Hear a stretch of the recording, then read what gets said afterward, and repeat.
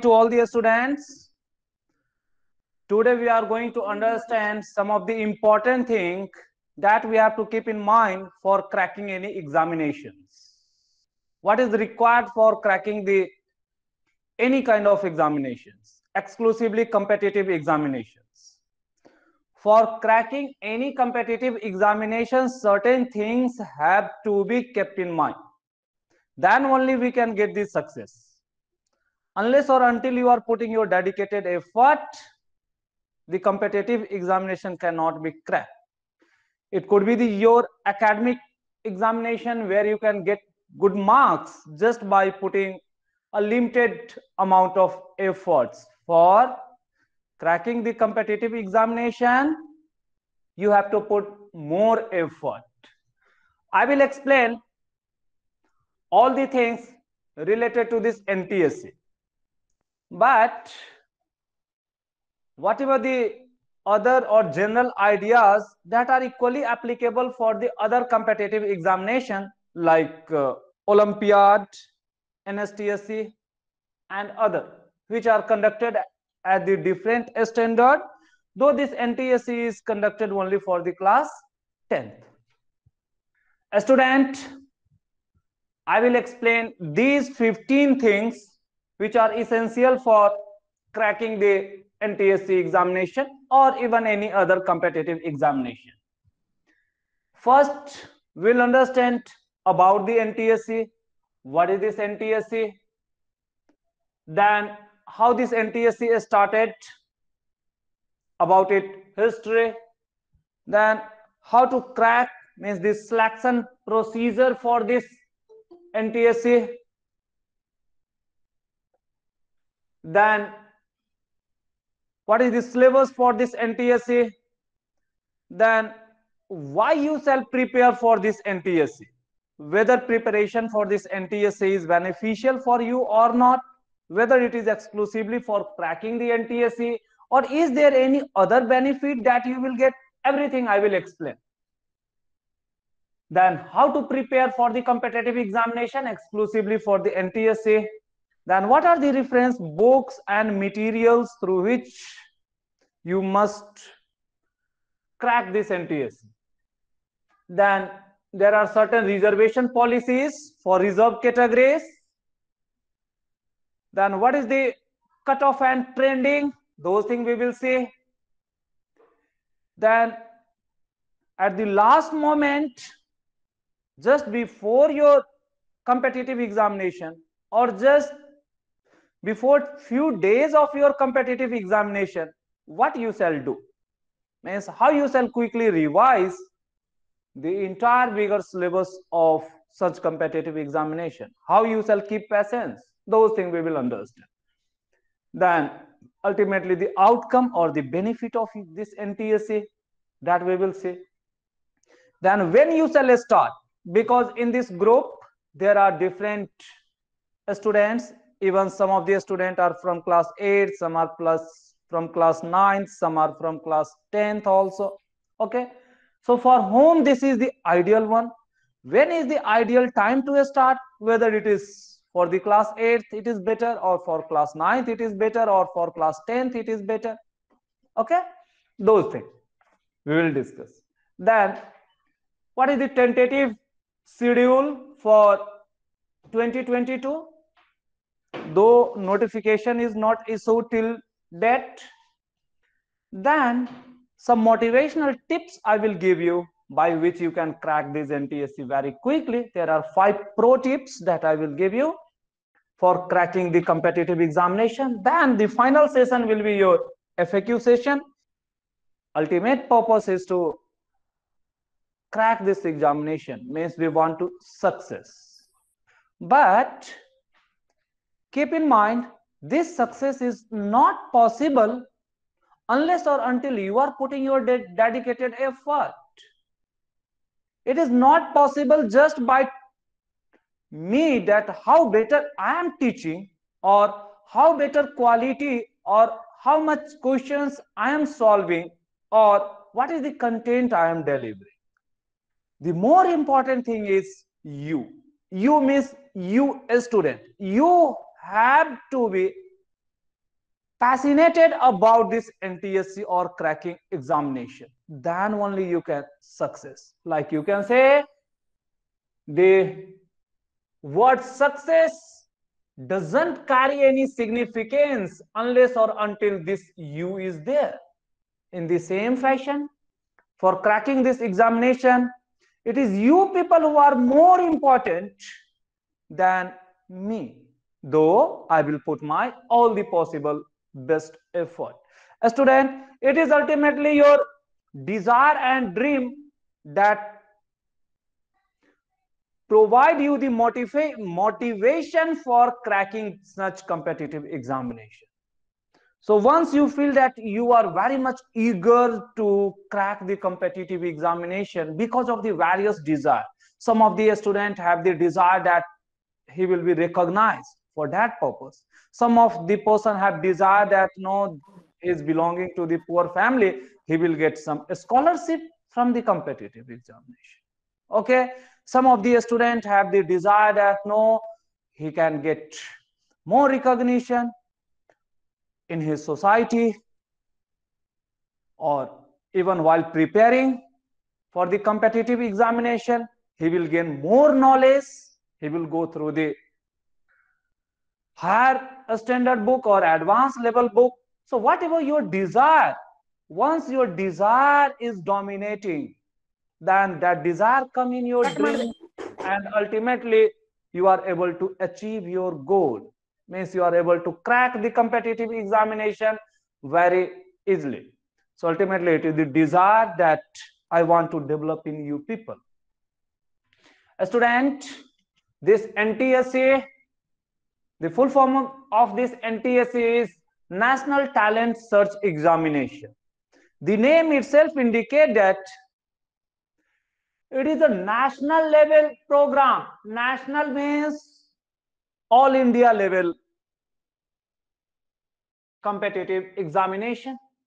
The purpose is to search the talent among the people.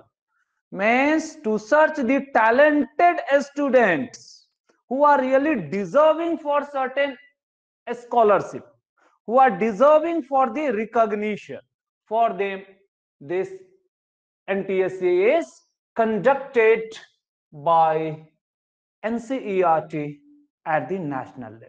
But selection procedure is slightly different. It starts with the state level. So state agencies are also involved in this competitive examination how they are involved everything i will explain. A student the most prestigious national level scholarship program means this gives you great recognition. Means while you are cracking this ntsc you become a national asset whether you want to be a national asset or not. It is you that you have to decide. You will get the recognition from the president of india. You will get a certificate signed by the president of india you will get the chance of getting the certificate from the president of india. In addition on monthly basis you will get certain amount that is near to 1250 or time to time it is revised it may increase to even 1500 or 2000 for class 11th and 12th further in graduation it goes to 5000 even to the 7000 also.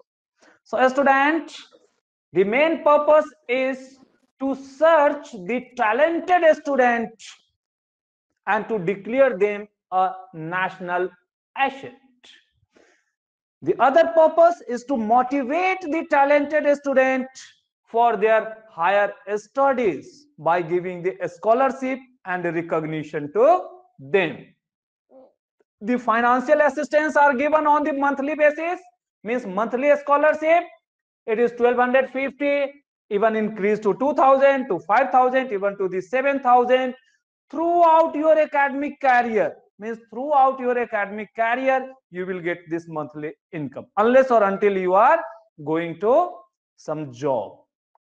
This NTSC was started since a long back in 1963 a student NCERT had started this flagship program for giving the financial assistance and recognition to the talented students. A student, the purpose was to identify talented student, nurture their talent, give them the recognition. The government of India, Ministry of Human Resource and Development, awarding a scholarship on monthly basis. It was started in class 10th in 1963. But there was a change that in 2006, this examination was shifted for class 8th but again since 2012 it is again shifted back for the class 10th student only. Means throughout your academic career you will get only one chance of recognizing yourself as a national asset or to declare yourself as a national asset by the government of india so how much prestigious is this program you can understand a student so since 2012, it is conducted for the class 10. So the examination will be conducted when you will be in class 10th and you will get only one opportunity.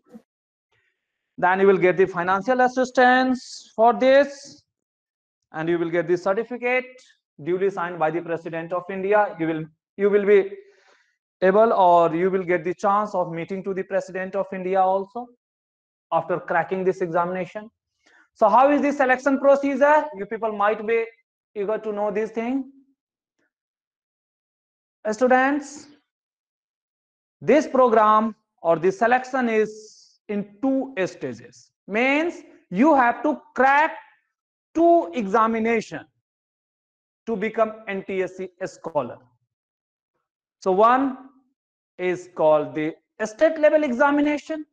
The next one is called national level examination पहले stage में आपको state level examination qualify करने पड़ेंगे। यदि आप ये qualify कर जाएँगे तो आप स्टेज टू में जाएँगे। यदि आप स्टेज टू भी क्वालिफाई कर लेंगे, तब जाकर करके आप नेशनल एसेट डिक्लेयर होंगे means you become NTSC scholar student stage one is conducted by the state authorities or a state level examination therefore the syllabus of the state is the syllabus for this stage one examination. But the good thing is that nowadays almost all the states have adopted this NCERT textbook or syllabus of the CBSE.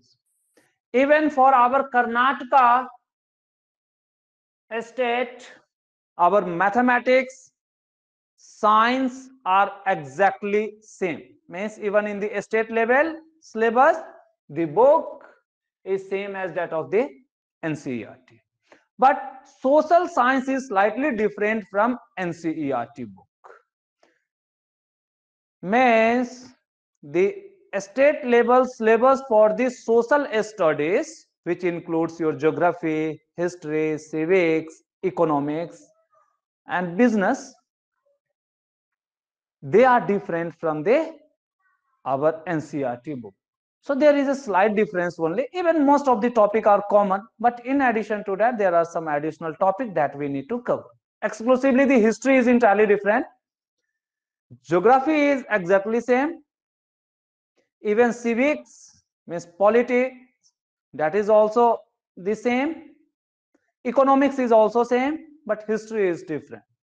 In NCERT, we have to learn about the world history, but in the state level, we have to learn about the Indian history. Again, Indian ancient, medieval, and modern. Exclusively, we have to focus for the modern. What is the syllabus? Everything we will see. So this is controlled by a state authority. State authority is keeping one officer for conducting this examination. So they are called as, or that officer is called as a state license officer. So mostly a state board control the controller or director is this license officer. State में जो education चलाते हैं उनका जो department है वही इस examination को कंडक्ट करेंगे स्टेट वन को स्टूडेंट तो हर स्टेट से कितने बच्चे लिए जाए जो कि नेशनल लेवल स्टेज टू के लिए कंटेस्ट करेंगे? इनके लिए हर स्टेट को एक सर्टेन नंबर फिक्स किया गया है। Like for our Karnataka it is nearly 240 okay slightly it is increasing और decreasing but don't worry for that it was that one even it is increase to 300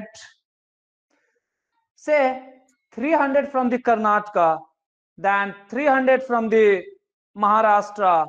Maybe only 40 or 50 students from the goa because goa is a small state and number of students in goa is leisure that's why depending on the students population in different state different states are given different quotas for selecting certain number of students from their state and give the name to the NCERT for contesting the stage 2 okay so that one is called as a state quota.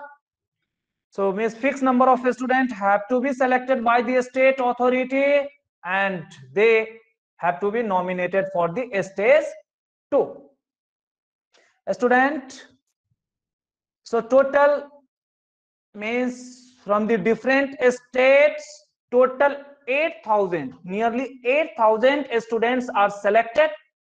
In that our karnataka is approximately 300 so students these 8000 students will appear for the stage 2 who have cracked the stage 1 but if you count the total number of students who are appearing in different states, that will come nearly 10 lakhs. Means almost all the students who are appearing for the board examination, they are also appearing. But no need to bother. Do not think 10 lakhs means all the 10 lakhs genius students are appearing. No. So all those who are in class 10th, mostly they are just filling the form, whether they are serious or not serious. But keep in mind, your competition will be among nearly 50,000 to 80,000 students who are dedicated. So you must understand that approximately 80,000 students are dedicated to what? This NPSC preparation. And in that 80,000 you should come among the 8,000 okay? So don't get panicked just by knowing this number that 10 lakhs students are appearing and you could not be selected. No, all the students are not serious. Even I am knowing that. अपने यहाँ भी जो बच्चे भी बहुत सारे join किए हैं, उनमें भी बहुत सारे बच्चे होंगे कि just if he is able to crack हो गया तो बहुत अच्छा है, नहीं हुआ तो कोई दिक्कत नहीं। Most of the student have that mentality but dear students जिन बच्चों की ये मेंटेलिटी है कि हो जाएगा तो अच्छा है, नहीं हुआ तो कोई दिक्कत नहीं है। They will also get certain benefit but surely it is almost impossible for those students to crack this examination this competitive examination. But those students who are very much dedicated who are thinking that no he have to crack this ntsc at any cost then surely he will crack. Okay? So i think hardly 20 to 20 to 30 student in our this session is dedicated for this but my purpose all those those students who have joined this session i want to make all of them to mold toward this competitive examination तो जितने भी लोग अभी हमारे साथ connected है हमारा purpose ये है कि आप सब में डेडिकेशन आए इसके लिए हम ये सेशन रखा है स्टूडेंट्स तो आपको 8000 के अंदर में पहले आना पड़ेगा स्टेज वन के लिए। यदि आप कर्नाटका लेंगे तो nearly three three hundred students के अंदर में आना पड़ेगा। आप जब 8000 स्टूडेंट के अंदर में आते हैं then you will go for another stage called national level examination so that national level examination out of these 8000 2000 student will qualify and they will get the monthly scholarship. When is the date? How is that? Everything we will see. Student the selection procedure is like this. Are you getting? Means different from different states. Different states are conducting the examination. They are qualifying the level 1 then they will go for the examination of level 2 or stage 2 then those who have cracked this stage 2 they will get the scholarship. Okay student. So the flow chart is like this. That's why at the first stage each state is conducting the examination but the examination date is fixed. That is decided by ncert not by the individual state. Pattern is also fixed but the questions is prepared by this state. What is the syllabus and pattern student? Let us see. So the two stage examination in stage one which is the state level examination syllabus is the state board syllabus. Pattern for this stage one and stage two means two examination is almost the same. A student for this stage 1 or say stage 2 means in each of this examination let us consider for the stage 1 there will be two paper.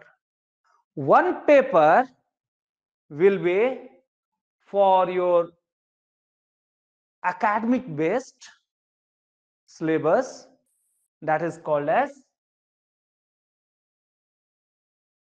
SAT test it is totally whatever you are learning in class 8th 9th and 10th these three years so the academics में आपने जितने भी चीज़ें पढ़ी हैं eight nine tenth में उनमें से कुछ भी पूछा जा सकता है but do not get panic की नहीं एट्थ की चीज़ें हम टेंथ में भूल जाते हैं do not get panic there are certain ways and there are different weightage तो इन क्लास एट्थ नाइन टेंथ में आपने जितने भी मैथमेटिक्स पढ़े हैं, कुछ भी पूछा जा सकता है।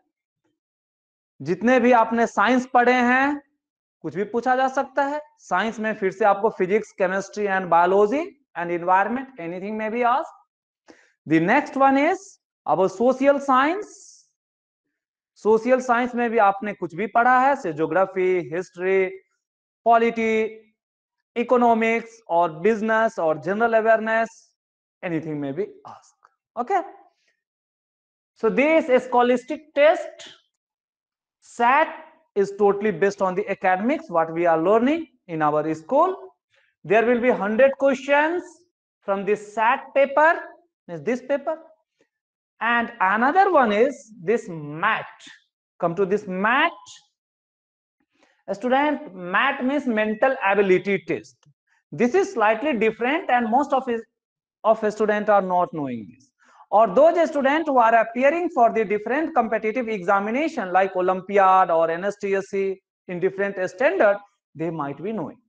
But unfortunately बहुत सारे बच्चे टेंथ में आ जाते हैं, वो मैथ के क्या सिलेबस होते हैं, क्या रहता है, कैसे करना है, उनको पता नहीं I will tell you everything please don't worry for this so student so for cracking each stage you have to go for the two kind of papers one is math and other one is SAT each of this paper will contain hundred question all hundred question are MCQ and you will be given 2 hours means 20 minutes. In that you have to complete this 100 questions. So from this you can understand what should be your strategy what should be your speed to complete 100 question in 120 minute. Students almost you must keep in mind one question in one minute roughly it is like that.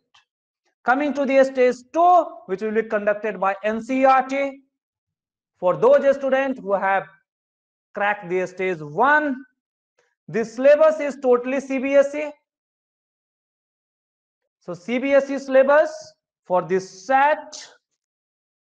A student might have the same syllabus for whether stage 1 or stage 2 so no need to worry.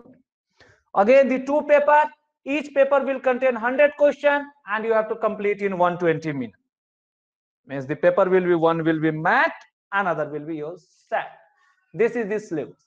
Now if we are coming for the karnataka so what is the content of the syllabus or what is the what are the different subject in this syllabus? Here you can say for stage 1 paper 1 we are considering paper 1 is mat mental ability test. So mental ability test 100 questions will be asked. You have to complete within the 2 hour. 100 question in 2 hour total 100 marks. Means each question carries 1 marks. Subject is mat in this mat there are approximately 20 chapters that we will see like series classification analogy coding decoding blood relation various other things are there. So total 100 question will be asked from this. And it is very easy and very interesting. Once your interest develop in this mental ability test you will surely crack the examination. And this is nothing but it is mentally you have to think. No any formula nothing is there. Just you have to develop your iq to solve these questions. But there are certain logics or certain tricks by which we can quickly anticipate what will be the answer how to proceed. Because you cannot answer anything in the vacuum unless or until you are knowing some basic thing how to think. Now coming to the paper 2 a student in this paper 2 there are broadly three sections. One is of the mathematics another is of the science another is of the social science. Means this sat paper again it will be 100 questions in 2 hours now out of this 100 questions certain number of questions will be from mathematics certain from the social science certain from the science. A student this 100 question carries the 100 marks also. One question in for one marks.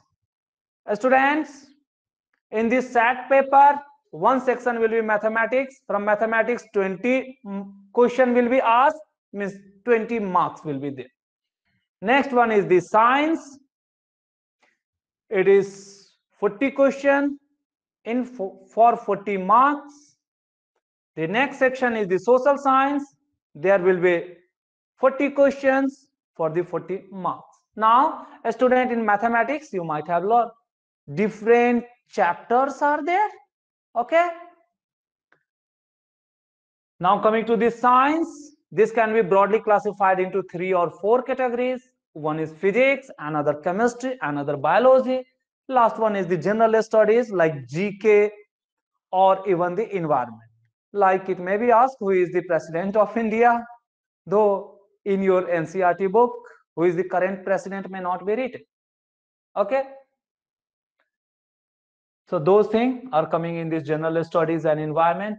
You can see the number of questions asked from this physics is the 13 means the 13 marks also. From this chemistry 12 questions. From the biology 10 question and this general awareness and environment 5 questions. Okay even this general studies and environment can be clubbed with this biology and we can understand biology carries the worth of 15 marks or 15 question. Sometimes it is varying to 14 to 15 so don't worry for that. Coming to the social science so total 40 questions. Again the social science will be divided into different section broadly four sections geography history polity or civics and economics or economics and business or another one is the sociology also. Sociology is nothing but again the politics and economics their combination something means how is this society. Now from this geography total 13 question will be asked. From this history 12 question will be asked. Polity 9 question. And economics and business 5 questions.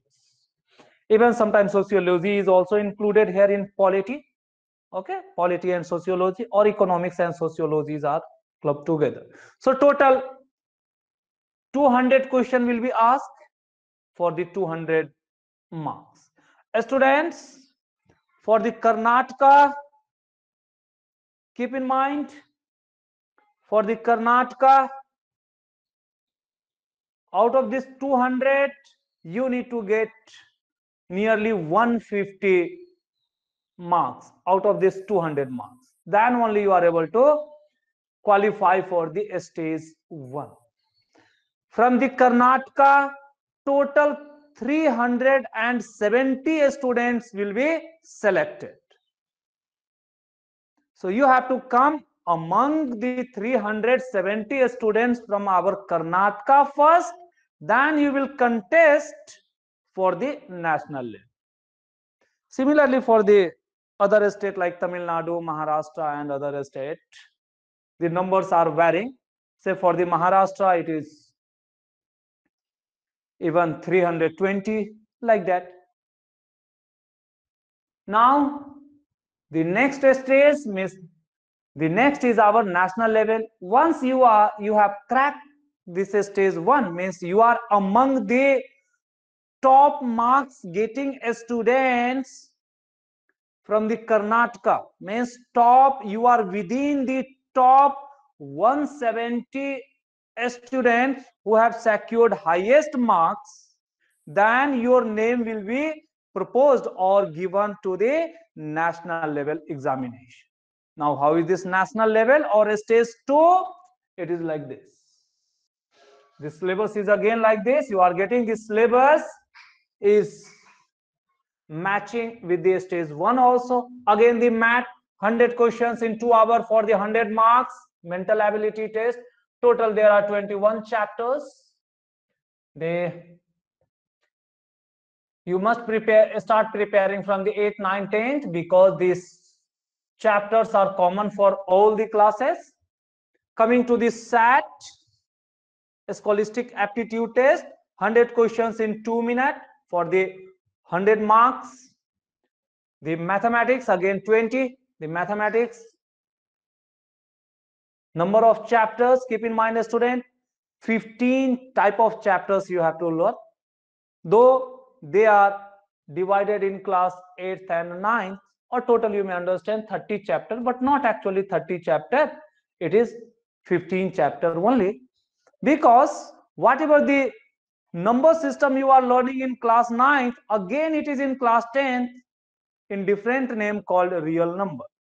You have to learn something higher than or something more whatever you have learned in class 9 even the same number system is also present in class 8 so whatever you are learning in class 8 you will learn a bit more in class 9th and again a bit more in class 10 so the same number system you are learning in all the three classes okay? Similarly the other thing like the graph also the same. Geometry also the same. Same triangle same rectangle same square. Getting no? But the difficulty level of the questions varies. It is that one. Coming to the science, physics, there are 10 chapters. A student keep in mind, these 10 chapters, 5 are in class 9th and 5 are in class 10th. These 5 in class 9th are different from the 5 in class 10th. Therefore, आपको class ninth के chapter पे भी उतना ही focus करके prepare करना है। Class tenth के chapters को भी फोकस करके प्रिपेयर करना। अलग अलग है। ये चैप्टर्स कॉमन नहीं रहते हैं। जैसा कि मैथमेटिक्स में आप देखेंगे चैप्टर सेम है। क्वेश्चंस का डिफिकल्टी लेवल और सिलेबस थोड़े से चेंज हो जाते हैं। बट फिजिक्स केमिस्ट्री बायोलॉजी में ये चैप्टर्स इंटायरली डिफरेंट रहते हैं that you have to keep in mind So understand for physics, you need to go through the 10 chapter, chemistry 9 chapter, biology 8 chapter, and general awareness, there are 4 chapters. Coming to the social science, again geography, history, polity, economics, total 13 chapter, 6 for the class 9th and 7 for the class 10th. Similarly, history, total 16 chapter, but this history is the world history that we have to learn for the class, for the stage 2 and the Indian history for our Karnataka for stage 1. Then polity, 14 chapters, then economics total nine chapters that you have to learn. So this way you are getting that if you count the chapters it is coming nearly 134 even more than that means what a student from the each chapter you will get approximately one to two question hardly so your concept should be so thorough that कोई सा भी question उस chapter से पूछा जाए तो आप कर पाए आप यदि ये सोचेंगे कि नहीं ये कंपेटिटिव एग्जामिनेशन में ये क्वेश्चन इंपॉर्टेंट है इसको करके जाएँगे तो आएँगे do not think like that ऐसा कंपेटिटिव एग्जामिनेशन में नहीं होता है दो एकेडमिक्स में ऐसा होता है कि जो आप certain important topics are there आप वही पढ़कर जाइए तो आपको मार्क्स मिल सकते हैं। Okay student so it is the syllabus for the stage two now the next one is आपने देखा कि इतना सारा सिलेबस है, इतना डिफ़िकल्ट लग रहा है ये एनटीएससी और competitive examination can I do बहुत सारे बच्चों के मन में ये क्वेश्चन अराइज होता है। कैन आई डू और यदि मैं चाहता भी हूँ करना तो मैं कैसे कर पाऊँगा? So many question arises no need to panic there are certain thing और certain you might have heard. Rome was not built in a single day. जो रोम सिटी है, वो दुनिया का सबसे ब्यूटीफुल सिटी माना जाता है। अभी कोई बात बोले कि नहीं, वो एक दिन में बना दिया जाए दूसरा Rome it is not possible other city भी रोम से ज़्यादा खूबसूरत बन सकते हैं, लेकिन एक दिन में नहीं, बहुत सारे समय लगने के साथ। मीन्स वाट यदि आप डेडिकेटेड एफर्ट डालेंगे रोज के रोज, आज से यदि आप शुरू करेंगे तो श्योरली आप क्रैक कर पाएँगे। बट आप एनटीएससी का जब फॉर्म निकल जाएगा, उस दिन सोचेंगे कि अब मेरे को एनटीएससी करना है, मैं दस दिन पहले और एनटीएससी से एक महीने पहले अब मैं जगता हूँ और मैं सोना भी बंद कर देता हूँ, मैं दिन रात पढ़ता हूँ तो भी नहीं हो पाएगा। तो कहते हैं ना slow and steady wins the race you have to follow those strategies student so the question is इतना डिफ़िकल्ट है तो बहुत सारे बच्चे तो ये कहते हैं, नहीं हो पाएगा यार। बहुत मुश्किल है। They are thinking like that and उनको लगता है कि नहीं, छोड़ देते हैं एनटीएससी नहीं करेंगे। लेकिन माई एडवाइस आपको क्यों करना चाहिए? Why you shall appear for the NTSC examination यदि आप इस चीज़ को समझेंगे, तब आप समझ जाएँगे कि नहीं, हमें कैसे करना चाहिए? हमें क्यों करना चाहिए? That is even more important that basically decides how you will prepare for the NTSC. So, two things I will explain or make you people understand. One is why this NTSC is important for you, whether just for this certain scholarship that uh, nearly 2000 financial assistance, whether that one only, क्या इतना ही चाहिए या इसके अलावे भी कुछ चीज़ें हैं those things we want to understand. तो आप देखिए student, you will feel that you are getting much more than whatever the amount that 1200 you are getting. Even if you are preparing for the ntsc though you may not have cracked but still you will gain a lot of things. What are those things? Let us see. A student why to prepare for the ntsc do you think for the scholarship of rupees 1250 no surely not. Why? Because you will get much more than that this 1250 per month what is that let us understand so student this nca this ntsc you can complete only if or crack only if you have the desire and dream to get recognized as a national asset this is the dominating thing student यदि आपके मन में ये आ जाए कि नहीं आपको national asset declare होने हैं। If you want to declare yourself as a national asset only then only you can crack this examination ये चीज़ आप पहले ध्यान में रखिए। आपको अपने सोसाइटी में इज़्ज़त पाने हैं। आपको अपने फ्रेंड्स में अपने को सुपीरियर प्रूफ करने हैं। तब आप एनटीएससी ज़रूर कर पाएँगे। अदरवाइज़ आप जब सोचेंगे कि पैसे के लिए करना है तो कभी नहीं होता है।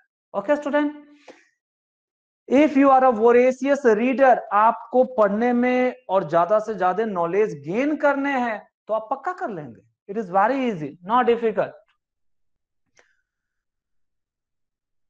student by this by because this NTSC declares that you are a national asset जब आप नेशनल ऐसे डिक्लेयर हो जाएँगे तो आप बहुत ही ज़्यादा ऑनर एंड प्राइड फील करेंगे। Ultimately in human life it is the honour and pride which makes the person to do certain challenging activities so cracking this competitive examination is also a challenge for our student so if you are eager to take that challenge surely you can do that so, ultimately, it is the pride and honor for which we are doing.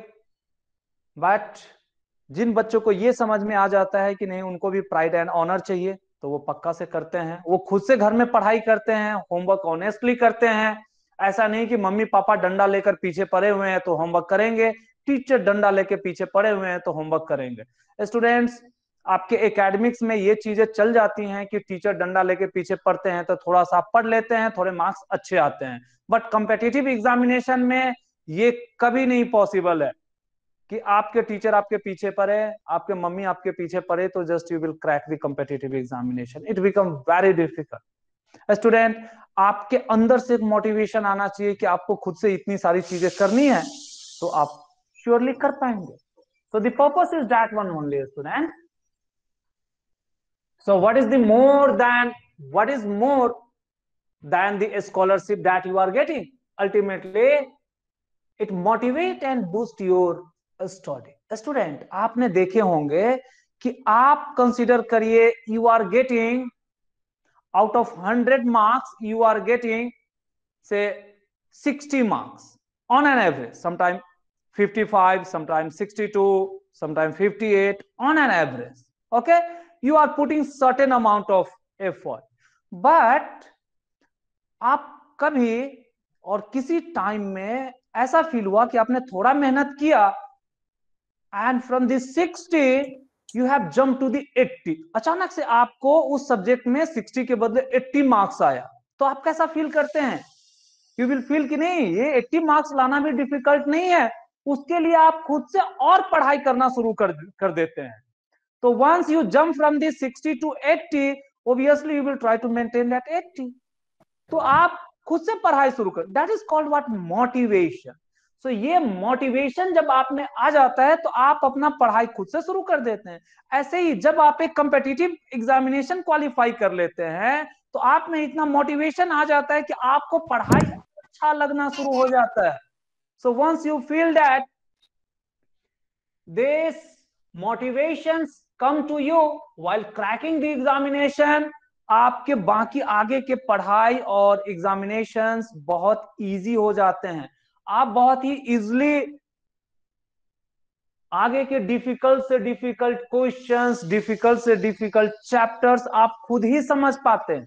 Because you are now motivated you are now eager to learn more and more so it is this thing what you are getting by cracking the competitive examination जो कि आपको normal feeling कभी नहीं आता student next one is while you are preparing for the NTSCs you will solve the challenging question or some advanced question इससे आपके knowledge improve होते हैं जब आपके नॉलेज इंप्रूव होंगे तो थ्रू आउट लाइफ आपको ये काम आता है because this NTSC is just the first stage but after that there are various other competitive examination that you people have to face अभी आप नाइन्थ में जाएँगे, से आप एनएसटीएससी और ओलंपियाड देंगे। टेंथ में जाएँगे एनटीएससी एक एडिशनल कंपटीशन आता है। If you are further going for the class eleven and twelve you will go for the you will go for JEE NEET, बहुत सारे ऐसे हायर और बढ़िया कॉलेज में एडमिशन के लिए आपको एग्ज़ाम देने पड़ते हैं। अनलेस और until you are cracking those competitive examination you could not get better college और good college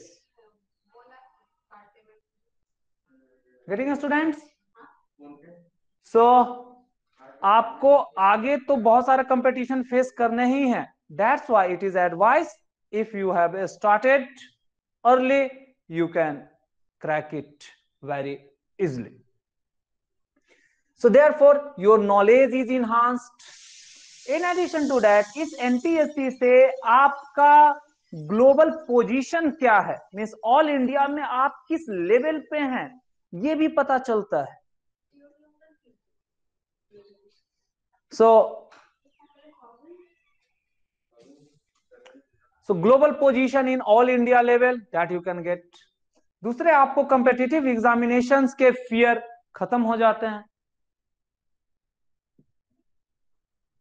then the other thing I had already explain it is the pride and honor in your society among your friend among your colleagues or in your school or even in your town और township तो ऐसा बहुत सारा आपको honour लोग आपको इज़्ज़त के नज़र से देखते हैं। अच्छे बच्चे को देखते होंगे, हर स्टूडेंट उसको रिस्पेक्ट से बात करते हैं। उनके अंकल्स मिलते हैं तो भी उनसे प्यार से बात करते हैं। तो यदि आपने अच्छे पढ़ाई किए हैं अच्छे अच्छे कंपटीशन क्वालिफाई करेंगे तो आप बहुत इज़्ज़त पाना शुरू करेंगे अभी से।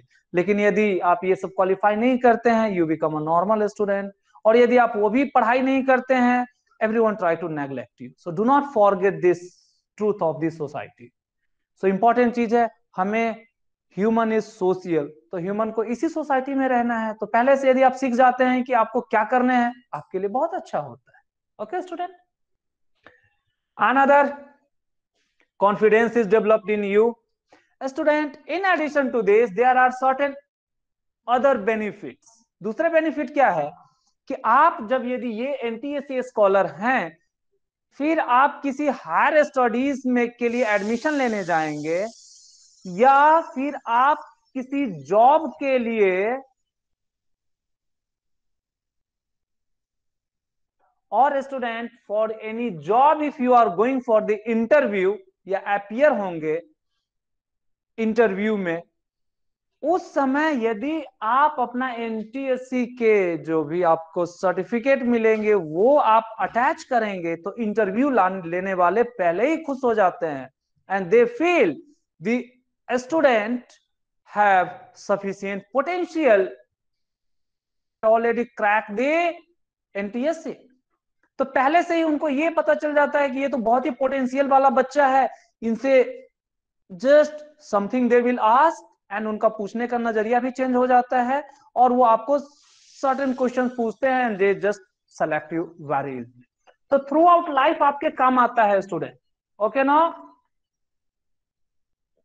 So whether you are going for the किसी भी तरीके के जॉब के लिए जाइए या आप किसी कॉलेज में एडमिशन के लिए जाइए, जहाँ भी आप अपना बायोडाटा फिल करते हैं तो उधर आप फिल करेंगे you will learn all this thing in the higher standard जब आप टेंथ कर लेंगे तो आपको ये सब प्रोफेशन में आते समय आपको पता चलेगा। There it have also the importance student then the next question is हम लोगों ने ये देखे कि बहुत सारे benefits there are so many benefits then अभी आप लोगों में से बहुत लोगों में ये फील आया होगा कि अच्छा इतना सारा अच्छा है यदि एनटीएससी तो हमें पक्का से करने चाहिए। बट अभी भी क्वेश्चन वही है कि पढ़ना तो बहुत पड़ेगा मेहनत तो बहुत करना पड़ेगा। Then how to do so how to prepare for this NTSC students आप जस्ट सोचेंगे कि कोई ऐसा मैथमेटिक्स का सर फॉर्मूला बता देंगे और उस फॉर्मूला को लगाएँगे और एनटीएससी क्रैक कर देंगे। None of the teacher have और none of the coaching have any such magical formula जो कि जस्ट आपको दे दे एंड आप जाके एग्ज़ाम में बैठ करके उस फॉर्मूला को अप्लाई करिए but there are certain formulas और सर्टेन टिप्स द टीचर और द कोचिंग डिलीवर्स वो ये आपको बताते हैं कि आपको क्या करने हैं basically guide you they show you the your path they makes your path easier even but ultimately you have to follow that path getting so what is that i am going to tell you everything a student NTSC crack करने के लिए आपको सबसे important चीज़ है कि आपके concept बहुत अच्छे होने चाहिए। आपको अपने रटने की आदत छोड़ करके चीज़ों को एनालाइज करने की आदत डालनी चाहिए। दूसरी चीज़ है, आपको क्वेश्चंस बहुत ही स्पीड में सॉल्व करने की आदत होनी चाहिए। आप चीज़ों को लिख लिख कर करके, खुद से एनालाइज करके पढ़ाई करने की आदत होनी चाहिए। यदि आप में ये दो, ये तीन क्वालिटीज हैं कि आपको पढ़ने में इंटरेस्ट होना चाहिए मीन ज़्यादा से ज़्यादा टाइम आपको पढ़ाई में देना दूसरा, पढ़ाई को रटना नहीं है, पढ़ाई के एक एक टॉपिक को समझ समझ कर करके आपको सॉल्व करने हैं और उसे अपने दिमाग में रखने हैं। तीसरी चीज़, आपने जो जो चीज़ें पढ़ी हैं, उनका फ्रीक्वेंट रिवीजन आप करते हैं। मीन्स आप कभी उसे भूले नहीं और आप ये फील करते हैं कि आप भूल रहे हैं तो उसको आप क्विकली जा करके फिर से रिवाइज कर लेते हैं। ये तीन प्रॉपर्टी इसके अलावे आप जब ये प्रैक्टिस करेंगे, ज़्यादा पढ़ाई करेंगे तो आपका स्पीड ऑटोमेटिकली बढ़ जाता है। Means another one is the speed speed with avoiding silly mistakes बहुत लोग स्पीड में क्वेश्चन सॉल्व करते हैं बट वो सिंपल एडिशन सब्ट्रैक्शन गलत कर देते हैं। तो आपको स्पीड भी बढ़ाने हैं, आपके सिली मिस्टेक्स भी कम करने हैं। तो यदि आपके पास ये चार चीज़ें हैं then surely you can crack the NTS no one can stop okay student so what is that so you must be very strong on the concept जो भी टॉपिक्स है, उसके कॉन्सेप्ट आपके बहुत अच्छे होने चाहिए। कॉन्सेप्ट का मीनिंग बच्चे ये समझते हैं कि वो इलेवन ट्वेल्व के बुक पढ़ लेंगे तो उनका, उनको इजी हो जाता है। No need to go for the eleven twelve graduation ये सब चीज़ें बहुत वास्ट हैं। बट आपके नाइन्थ एंड टेंथ में जो भी टॉपिक्स हैं, उन टॉपिक्स को डिटेल में थोड़ा अंडरस्टैंड करना। Do not just think definition is the only topic no definition किस किस अल्टरनेट फॉर्म में हो सकते हैं?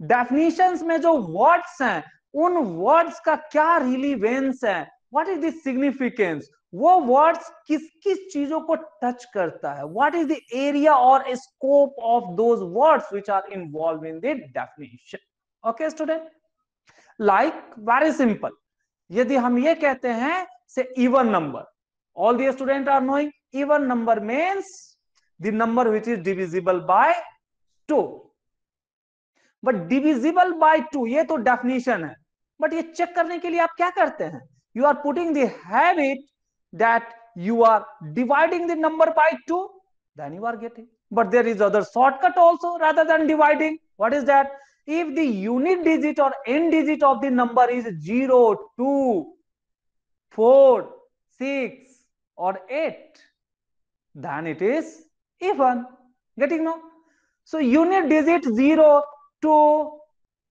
4 6 8 this is what indirect inclusion of the division of a number by two तो देखा आपने सो so, कॉन्सेप्ट बहुत ही हायर स्टैंडर्ड और हायर लेवल तक के होने चाहिए so student you must have the good speed no silly mistakes in addition to these three things you must have the proper planning, time management. It is very important आप time से जगे time से सोए time से focus करें अपने पढ़ाई पे।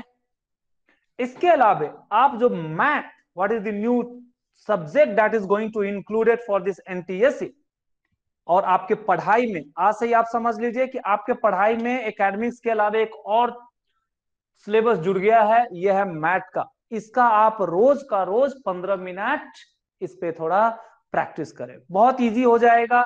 जो बच्चे क्लास एट्थ में हैं, यदि अभी से आदत डाल लें कि just for the 45 minute you practice daily no one can stop for cracking even for the class tenth student it is a bit challenging उनके लिए समय कम है but still class tenth student can also do it then learn these thing your physics chemistry maths biology at the advanced level while saying for the advanced level do not think go for the class 11 12 or graduation no आपके ही जो book में है उस पर थोड़ा ज़्यादा question solve करिए उनके न्यूमेरिकल्स थोड़े सॉल्व करिए उस पे बेस्ड जो एमसीक्यूज होते हैं उनको थोड़े से प्रैक्टिस करिए उनके जो डेफिनेशंस के क्या क्या स्कोप हैं उससे को क्या इनडायरेक्टली निकलता है those things we have to you have to understand then give enough time for preparation of social studies और रीडिंग ऑफ़ सोशल स्टडीज़ यानी क्या स्टूडेंट बहुत सारे बच्चे हमारे ये करते हैं, कहते हैं कि उनको social studies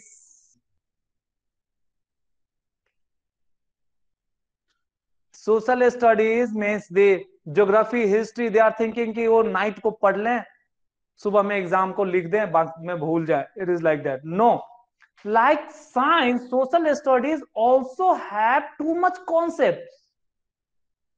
Okay? Say when is the smallest day or longest night there is some day or some date on which it is falling. Why it is falling on that day only? There are some reason. That this earth is rotating around the sun but in addition to that, Earth is tilted on its axis at 22.5 degrees, sorry, 23.5 degree. That's why it is giving that kind of phenomena. So various things are there. Everything I will explain at relevant subject. So practice the previous year paper. Previous year papers को जो भी topics आप पढ़ लेते हैं उसका आप ज़्यादा से ज़्यादा practice करिए. These are the only things then the important thing is the time management it is ultimately your time बहुत सारे बच्चे यही कहते हैं कि मैं तो स्कूल का करता हूँ होमवर्क करता हूँ सर आप भी ट्यूशन पढ़ाते हो तो आप भी इतना होमवर्क देते हो तो मैं कैसे करूँ पॉसिबल ही नहीं है many students are thinking like that ultimately students what you are learning in your school you what you are learning in your tuition that is equally useful for these competitions also but उतने को ही आप just वहाँ तक पढ़ के, जो school में बोला उतना पढ़ के छोड़ देंगे तो it is not enough even you have to analyse a bit more आपको थोड़े से और भी ज़्यादा एनालाइज करने हैं, ज़्यादा क्वेश्चन सॉल्व करने हैं. I will guide two thing so it is basically a challenge exclusively for the tenth student क्योंकि नाइन्थ में और एट्थ में जो बच्चे हैं, उनके लिए तो ठीक है, वो थोड़ा एकेडमिक्स में कम भी ध्यान देते हैं तो भी चलता है। बट टेंथ में तो it is your board which is your career it is quite difficult तो टेंथ के बच्चों के लिए सबसे बड़ा चैलेंज होता है। बट टेंथ के बच्चों के लिए अच्छी बात यह भी होती है कि you are more mature than class 8th and 9th student. Your thinking level is a more than there okay okay? In addition to that, you have already finished your class 9th and 8th so 9th and 8th की चीज़ों को आपको revise करना आपके लिए बहुत ही easy है। Getting it is you people who have to manage. In addition आपका जो एनटीएससी का एग्ज़ाम होने वाला है, ये आपके बोर्ड से पहले होने वाला है। Say NTSC exam mostly the stage one is in the month of November but आपके बोर्ड तो मार्च में होते हैं। इन मार्च और may be February and March in between February and March excluding the corona period where it have extended to may also. And even it is dropped also. So, students, आपने ये देखे कि board का examination आपका फरवरी मार्च में रहता है normal duration में. बट ये एनटीएससी का एग्ज़ाम नवंबर सेकेंड वीक में रहता है. So you shall try to finish all this syllabus of your class tenth up to November यदि आप वहाँ तक पूरा फिनिश करते हैं तो बोर्ड में भी यूज़ आएगा। एंड आपने ऑलरेडी प्रिपरेशन अच्छे कर रखे हैं। बट इस टाइम में, जब तक आप नवंबर तक में you have to practice along with SAT as well as the MAT ठीक है? सैट मीन्स एकेडमिक्स की चीज़ें मैथ मीन्स जो अभी हमने एडिशनल चीज़ें बताई, वो। Student but after cracking this stage one और after the examination of this stage one in November अभी आप दिसंबर वगैरह से आप मैथ छोड़ दीजिए, आप सेट पे ज़्यादा फोकस करिए, आप बोर्ड भी मैनेज करेंगे बोर्ड में भी अच्छे मार्क्स आएँगे, क्योंकि उन्हीं चीज़ों को आप फिर से रिवाइज कर रहे हैं ओके सो द डेट और the months are selected very carefully by the NCRT because both the examination are conducted by NCRT. ये बोर्ड भी NCRT से ही कंडक्ट होती है आपके। It is basically the CBSE board but in concurrence with this NCRT NCRT तो आपके books को पब्लिश करती है एंड एनटीएससी के एग्ज़ाम कंडक्ट करती है। Students so yes it is basically a challenge but there are certain advantage also with the proper time management and planning the important thing is the time management बहुत बार बच्चे ये कहते हैं कि टाइम कहाँ से निकाले जाए? टुडे मैं जो चीज़ें बता रहा हूँ, यदि आप उनको समझेंगे, आपके पास बहुत सारे टाइम मिलेंगे बट यदि आप नहीं समझेंगे तो कभी टाइम नहीं मिले। एक्सक्लूसिवली सी दिस table यदि आप ये टेबल देखेंगे तो आपको समझ में आएगा कि आपके पास टाइम है या नहीं है। एंड पढ़ाई का मीनिंग है, जब आप पढ़ाई कर रहे हैं तो आपको टोटली पढ़ाई के बारे में ही सोचने हैं। मीन्स डीप थिंकिंग और your mind should be under under the stress ऐसा कंडीशन होना चाहिए। ऐसा नहीं कि बुक खोले हुए हैं एंड चिप्स खा रहे हैं। आप अपने ब्रेकफास्ट ले रहे हैं। That is not counted in your study आप बुक भी खोले हुए हैं एंड आपका जो यंगर ब्रदर और सिस्टर है, वो लूडो लेकर आता है and you people are playing the Ludo in parallel और एनी चेस और any game they are that is not the study student let us see where is the time and how we can get this time यदि आप total time 24 our को देखेंगे and आप अपने activities को देखेंगे so very first one is your school school में आपको छह से साढ़े छह घंटे टाइम ये तो फिक्स ही रहते हैं. It is not very okay I have considered this time when your school is open normal time आपके सिक्स आवर होते हैं but half an hour i have considered for going to school and coming, all those things i have considered. So, ये 6.5 hours से ज़्यादा नहीं रहता है school का timing it is very much sure then finishing the homework of this school school में जितने भी होमवर्क दिए जाते हैं, जितने टॉपिक पढ़ाए जाते हैं I think two hour two two point five hour is enough you are if you are doing it seriously यदि आप सीरियसली करेंगे सो so दो से ढाई घंटे में पूरा हो जाए। स्टूडेंट आप ध्यान दें, while you are doing the homework, you should be serious, means you are under high stress condition, means it is your stress time यानी आप डेडिकेटली वो टाइम दे रहे हैं। बट ये देखिए, जब आप स्कूल में होते हैं it is not the it is not the stress time stress time का मीनिंग है, आप बहुत ही पूरा मेंटली उसमें इन्वॉल्व है।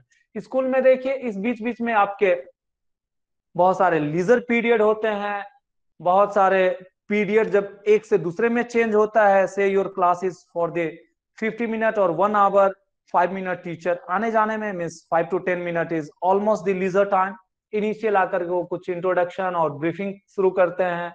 So two thing lunch break other thing so so many spare times are there in this so यदि आप school में हैं तो ऐसा आप नहीं कह सकते हैं कि आप बहुत स्ट्रेस में हैं, बहुत पढ़ाई किया है साढ़े छह घंटे तक अभी आप घर में आकर के जस्ट अगले घंटे आप पढ़ाई नहीं कर सकते it may be possible while you are in tuition और कोचिंग तो कोचिंग वाले और ट्यूशन वाले इतना स्ट्रेस में पढ़ाते हैं एक एक बच्चे को even if you are here also तो भी आप फील किए होंगे दो दो घंटे तक आपको मौका नहीं मिलता है कि आप पेन गिर जाए तो you can pick up the pen do student are very much serious okay और आप कुछ और कर पाए। बट स्कूल में ऐसा नहीं रहता है स्कूल का टाइम बहुत ही बहुत सारे स्पेयर टाइम रहते हैं। सो so, आपके जो ट्यूशन टाइम्स रहते हैं वो उसके बाद टू आवर से you have taken the tuition उसके बाद you need the 15 to 20 minute to get it relax but आप स्कूल से आते हैं तो फुल रिलैक्स ही रहते हैं। Because I was also in school और I am also the part of the school और I am also almost in the similar kind of profession while coming from the school आप एक घंटे तक आप रेस्ट करेंगे, फिर पढ़ाई शुरू करेंगे। No student no need to do that next if you are counting your sleeping hour six to seven hour be careful student it is totally relax time coming to this breakfast और eating और your routine job like taking the bath and other activities it could be the two hours, दो घंटे से ज़्यादा। यदि 24 घंटे में यदि आप खाने में नहाने में एंड डेली रूटीन्स में लगाते हैं इसका मीनिंग है you are the laziest person आपको कंपटीशन के बारे में सोचनी ही नहीं चाहिए so be careful I am not saying like that but ये दो घंटे से कम ही रहने चाहिए ज़्यादा नहीं रहने चाहिए। You should be so efficient अब आप स्नान करने जाएँगे एक घंटे तक स्नान करेंगे। भाई एक घंटे में स्नान करोगे तो भी उतने ही क्लीन होगे और टेन मिनट्स में स्नान करके निकलोगे तो भी उतने ही क्लीन रहोगे हाँ? तो दो घंटे से ज़्यादा आप इस टाइम को वेस्ट ना करें। Then entertainment even I have also kept for the entertainment आप बाहर जाकर के गेम खेल करके आइए। हुई सही कि 24 घंटे आपको पढ़ने हैं? Not required so one to one point five hour it is totally relax time coming for the tuition and coaching, say one hour to one and a half hour, or even two hours, wherever you might be taking the coaching ये देखिए it is also very stress time इसमें आपको बिल्कुल सोचने का मौका नहीं मिलेगा। देन ट्यूशन के होमवर्क आप करेंगे। जितना पढ़ाया जाता है ट्यूशन में, उतने टाइम में ही होमवर्क भी लगेगा। क्योंकि ट्यूशन में हो सकते हैं कि ज़्यादा थोड़ा सोचने वाले क्वेश्चन दे। कुछ तो टीचर होमवर्क देते हैं, कुछ तो होमवर्क भी नहीं देते हैं। ट्यूशन में तो ऐसे भी महान महान लोग हैं। Then what is the balance time तो 24 घंटे में यदि आप देखेंगे तो आपके पास बचा हुआ टाइम कितना हो जाता है? आप जस्ट इस सबको ऐड कर लीजिए। 24 से आप इन सबको सब्ट्रैक्ट कर लीजिए। आप इन सबको ऐड करिए एंड इन सबको आप 24 से सब्ट्रैक्ट करिए। 24 आवर में इनको आप सब्ट्रैक्ट करिए। सिमिलरली आप इनको ऐड करिए, इनको भी आप 24 से आप सब्ट्रैक्ट करिए। गेटिंग ना स्टूडेंट तो देखिए this was the minimum time जो कि बच्चे को लगेगा ही एंड ये सब एक्टिविटीज़ में इन्वॉल्व होंगे so if you are counting the minimum time you will have the spare time of 4.5 hour यदि आप बड़े आराम आराम से और लेजी मैन के तरफ़ चलेंगे, करेंगे चीज़ों को तो भी आपको 1.5 आवर बच जाता है। ओके स्टूडेंट सो अभी ये 4.5 और 1.5 कितना टाइम आप मैनेज करना चाहते हैं it is up to you this 1.5 is the minimum hour that is available for additional study like competition but this 1.5 is not enough student क्यों क्योंकि बच्चे तो बहुत सारे ऐसे रहते हैं कि सेवन आवर क्या वो नाइन आवर भी सो लेते हैं तो आपने सबका टाइम वेस्ट कर लिया है so the purpose is you have to maximize your time for the comp competition or additional thing by minimizing these times ये सब टाइम आपने देखा ना, जो मैक्सिमम टाइम आपने कंसिडर किया इसको थोड़ा थोड़ा मैनेज करिए। देखिए, आपके पास बहुत सारे टाइम मिलते हैं। Means on an average you can spare nearly three hours to two three hours तो आप डेली मिनिमम टू आवर्स तो आप डेली कंपटीशन के लिए निकाल ही सकते हैं। अब इस टू आवर्स और थ्री आवर आपने जो कंपटीशन के लिए निकाला है वो are in the class eighth और नाइन्थ टेंथ को जस्ट टू आवर सफिशियंट नहीं रहेगा। They have to keep nearly three hour for the competition so you have to maximize this two two three hour अभी आप जो two two three hour whatever the time is available तो आप competition के लिए devote करिए। आप इसमें नियरली 45 टू वन आवर तक आप रोज के रोज मेंटल एबिलिटी टेस्ट सॉल्व करिए, पहला काम करिए। दूसरे जो सैट के क्वेश्चंस हैं जो भी टॉपिक्स आपके एकेडमिक के नहीं है से you are in the class tenth and class tenth के जो आपके मैथ साइंस के सिलेबस डिफरेंट है from your syllabus of the और the class ninth so while you are in the class tenth आप क्लास नाइन्थ के motion chapter भूल गए होंगे। तो आप क्लास नाइन्थ के मोशन चैप्टर को रिवाइज करिए, आप उनके ग्रेविटेशन को रिवाइज करिए, आप उसके केमिस्ट्री स्ट्रक्चर ऑफ़ एटम को पढ़िए so that way you need to manage यदि आप इस तरीके से मैनेज करेंगे तो एमटीएससी पक्का कर पाएँगे। और यदि आप सोचेंगे नहीं टेंथ में है ओनली टेंथ के ही टच में रहे तो नाइन्थ के चीज़ों को आप टोटल तरीके से भूल जाएँगे। एंड ओनली टेंथ का सिलेबस करके आप एनटीएससी नहीं कर पाएँगे। बहुत डिफ़िकल्ट होता है। Almost impossible so this is how you have to manage this this is the stringent time ये टेबल आप ध्यान में रखें।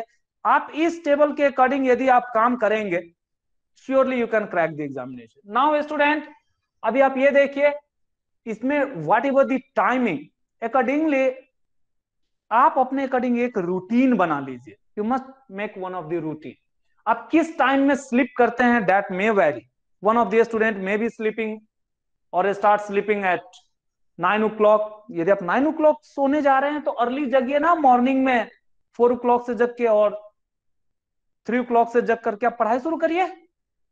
Though student who are in the habit of sleeping late night यदि आप ट्वेल्व ओ क्लॉक सोने जा रहे हैं तो आप पहले पढ़िए। सो so, ये किस टाइम में आप सोएँगे और जगेंगे और कौन सा टाइम आप कैसे मैनेज करेंगे आप अपना रूटीन खुद से बनाइए। So, रूटीन दूसरे का और आपका ज़रूरी नहीं है मैच करना।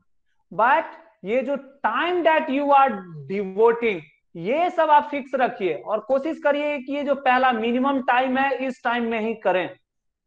अनलेस और until there are certain urgency कि आप भी आप कुछ और, किसी और एक्टिविटीज़ में गए तो आप ज़्यादा थके हुए हैं, ठीक है, आधा घंटा ज़्यादा सो लीजिए। और you may manage from the other but but there is sufficient time for the competition यहाँ आप देख रहे हैं कि आपके पास बहुत सारा टाइम बचता है। Because you people are not managing the time इसीलिए आपको प्रॉब्लम आती है। Once you start managing your time आपको लाइफ में कभी भी प्रॉब्लम नहीं आएँगे। लाइक like यदि आप मेरे को देखिए, आप देखिए यू मे गेट सरप्राइज़ आप अपने पेरेंट्स से पूछिए, मैं ऑफ़िस भी जाता हूँ और आप जैसे तीन तीन बैच को भी पढ़ाता हूँ, आपके लिए मैं क्वेश्चन पेपर भी बनाता हूँ, आपके लिए मैं, आपके जो टेस्ट कंडक्ट करते हैं, उसको मैं चेक भी करता हूँ, आपके लिए मैं ऐसा प्रेजेंटेशन भी बनाता हूँ, आप सबके लिए हमने अलग से नोट्स भी बना रखे हैं। How I have manage the time since beginning so I am able to do everything तो ऐसे ही you have to manage your time you should be efficient आप यदि एफिशिएंट होंगे लाइफ में बहुत सारा कुछ कर पाएँगे। Otherwise the relax people just do the daily routine task leave there what you are doing तो आप वैसे ही रह जाएँगे।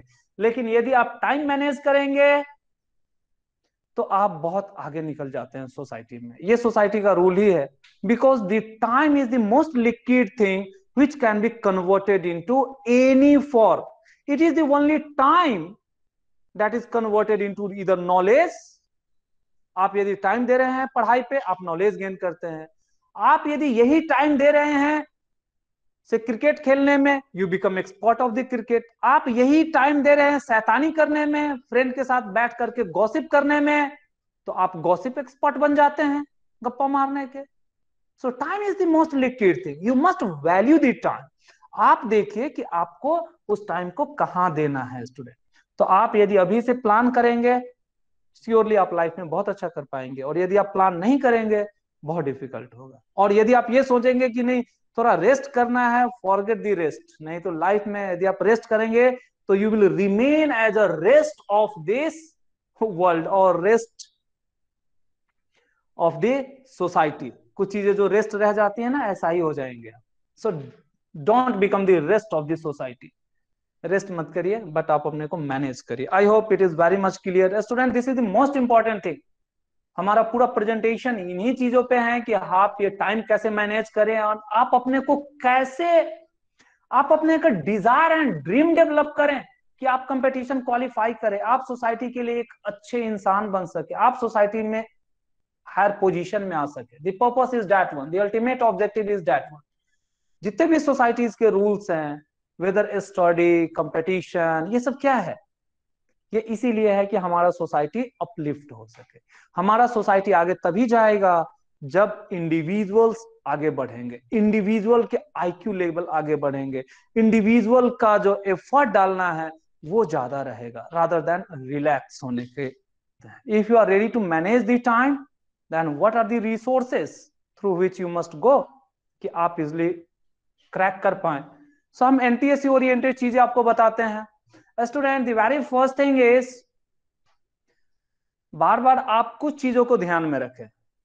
डू नॉट थिंक यदि आप किसी सिंगल बुक को पूरी तरह रट जाते हैं या उसे चार बार पढ़ जाते हैं से गाइड बुक ऑफ़ एनटीएससी और कोई भी कॉम्पिटेटिव एग्जामिनेशन का, आप सोचेंगे कि उसको मैं चार बार रट देता हूँ तो वो सेम क्वेश्चन आएगा। Do not expect that one then why this books are important these books are basically important for your practice for confining toward your syllabus ये ये रहता है कि हाँ हम इसको प्रैक्टिस करेंगे तो इस टाइप के क्वेश्चन इससे रिलेटेड जो कॉन्सेप्ट हैं, वो सब चीज़ें कवर हो जाएँगी। तो आपको कंपेटिटिव एग्ज़ाम के क्वेश्चन करने इजी होते हैं। It is helping in that way now coming to the tuition और द कोचिंग स्टूडेंट ट्यूशन या कोचिंग वाले जो भी चीज़ें आपको बताते हैं वेदर यू आर हेयर और समवेयर एल्स कहीं भी एक्सक्लूसिवली जो टीचर मन से पढ़ाते हैं या जो कोचिंग वाले मन से पढ़ाते हैं उनके लिए अदरवाइज़ तो there are various teachers and coachings जो कि जस्ट जहाँ बच्चे आए जाएँ कंफर्टेबल सिचुएशन में पढ़ाते हैं वो not to not for them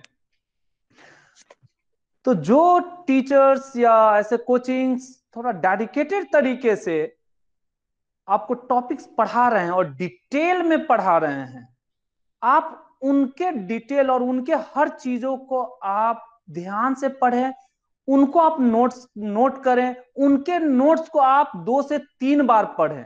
तो student the question is which one books we shall follow क्या क्या बुक्स हमें फॉलो करनी चाहिए? तो एक सिंगल बुक सफिशियंट नहीं होता है कंपटीशन के लिए। You have go through the various practice book in addition to coachings वाले जो आपको डेडिकेटली पढ़ा रहे हैं, उसके साथ साथ। कोचिंग्स में या ट्यूशन में जो आपको पढ़ाए जाए, उनको आप ध्यान से लिखें, उनको आप फ्रीक्वेंट रिवीजन करें। क्योंकि कोचिंग में पढ़ाए गए नोट्स को आप बहुत इजिली अंडरस्टैंड कर सकते हैं। So the important thing is like this is there any single book no single book no guide book then what to learn आपके जो एनसीईआरटी के टेक्स्ट बुक है, उस पर ज़्यादा फोकस करें। इसके अलावा कोचिंग या के या एडिशनल जो नोट्स बनाकर दिए जाते हैं या जो टीचर पढ़ा रहे हैं, उस पर आप थोड़ा ज़्यादा फोकस करें। आप यदि इन चीज़ों पे थोड़ा फोकस करेंगे surely you can crack the competition very easily getting no so do not think कि अभी आपने एक कोई सा बुक खरीद लिया like one of the book we will also follow NTSC explorer and do not expect कि एनटीएससी एक्सप्लोरर को ही आप चार बार पढ़ लेंगे तो हो जाएगा। क्वेश्चन डायरेक्टली एनटीएससी एक्सप्लोरर के नहीं आएँगे। Though there will be some question I am not saying कि none of the question will come but आप ये देखिए 200 में आपको 150 प्लस क्वेश्चन आपको करने हैं। तो एनटीएससी एक्सप्लोरर से 200 में 150 plus question as it is match नहीं करेंगे। पहली बात आप ध्यान में रखिए। क्या मैच करेंगे? उसमें से एज इट इज़ मैच करने वाले आपको 200 में hardly 50 questions or 40 to 50 questions that will be matching. It is very sure. Then from where the other question?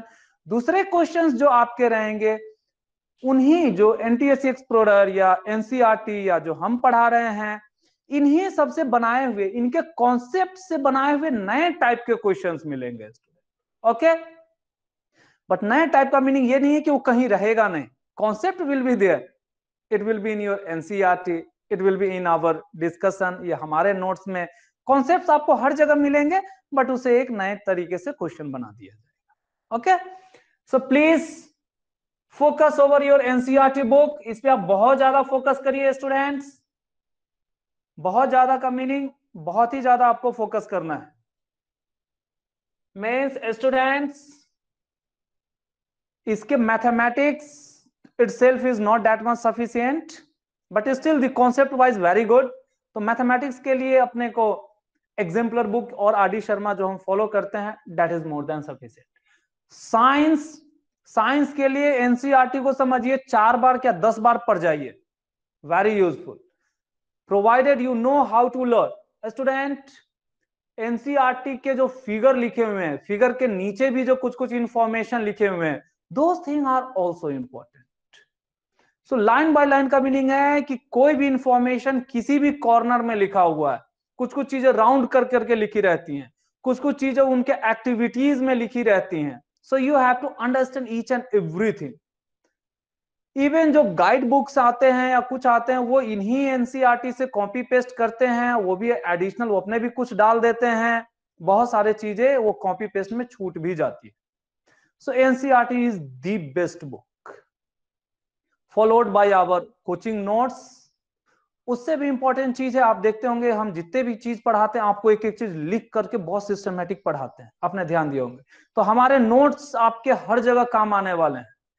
Competition से लेकर के आपके एकेडमिक्स में, आपने देखे होंगे कि हमारे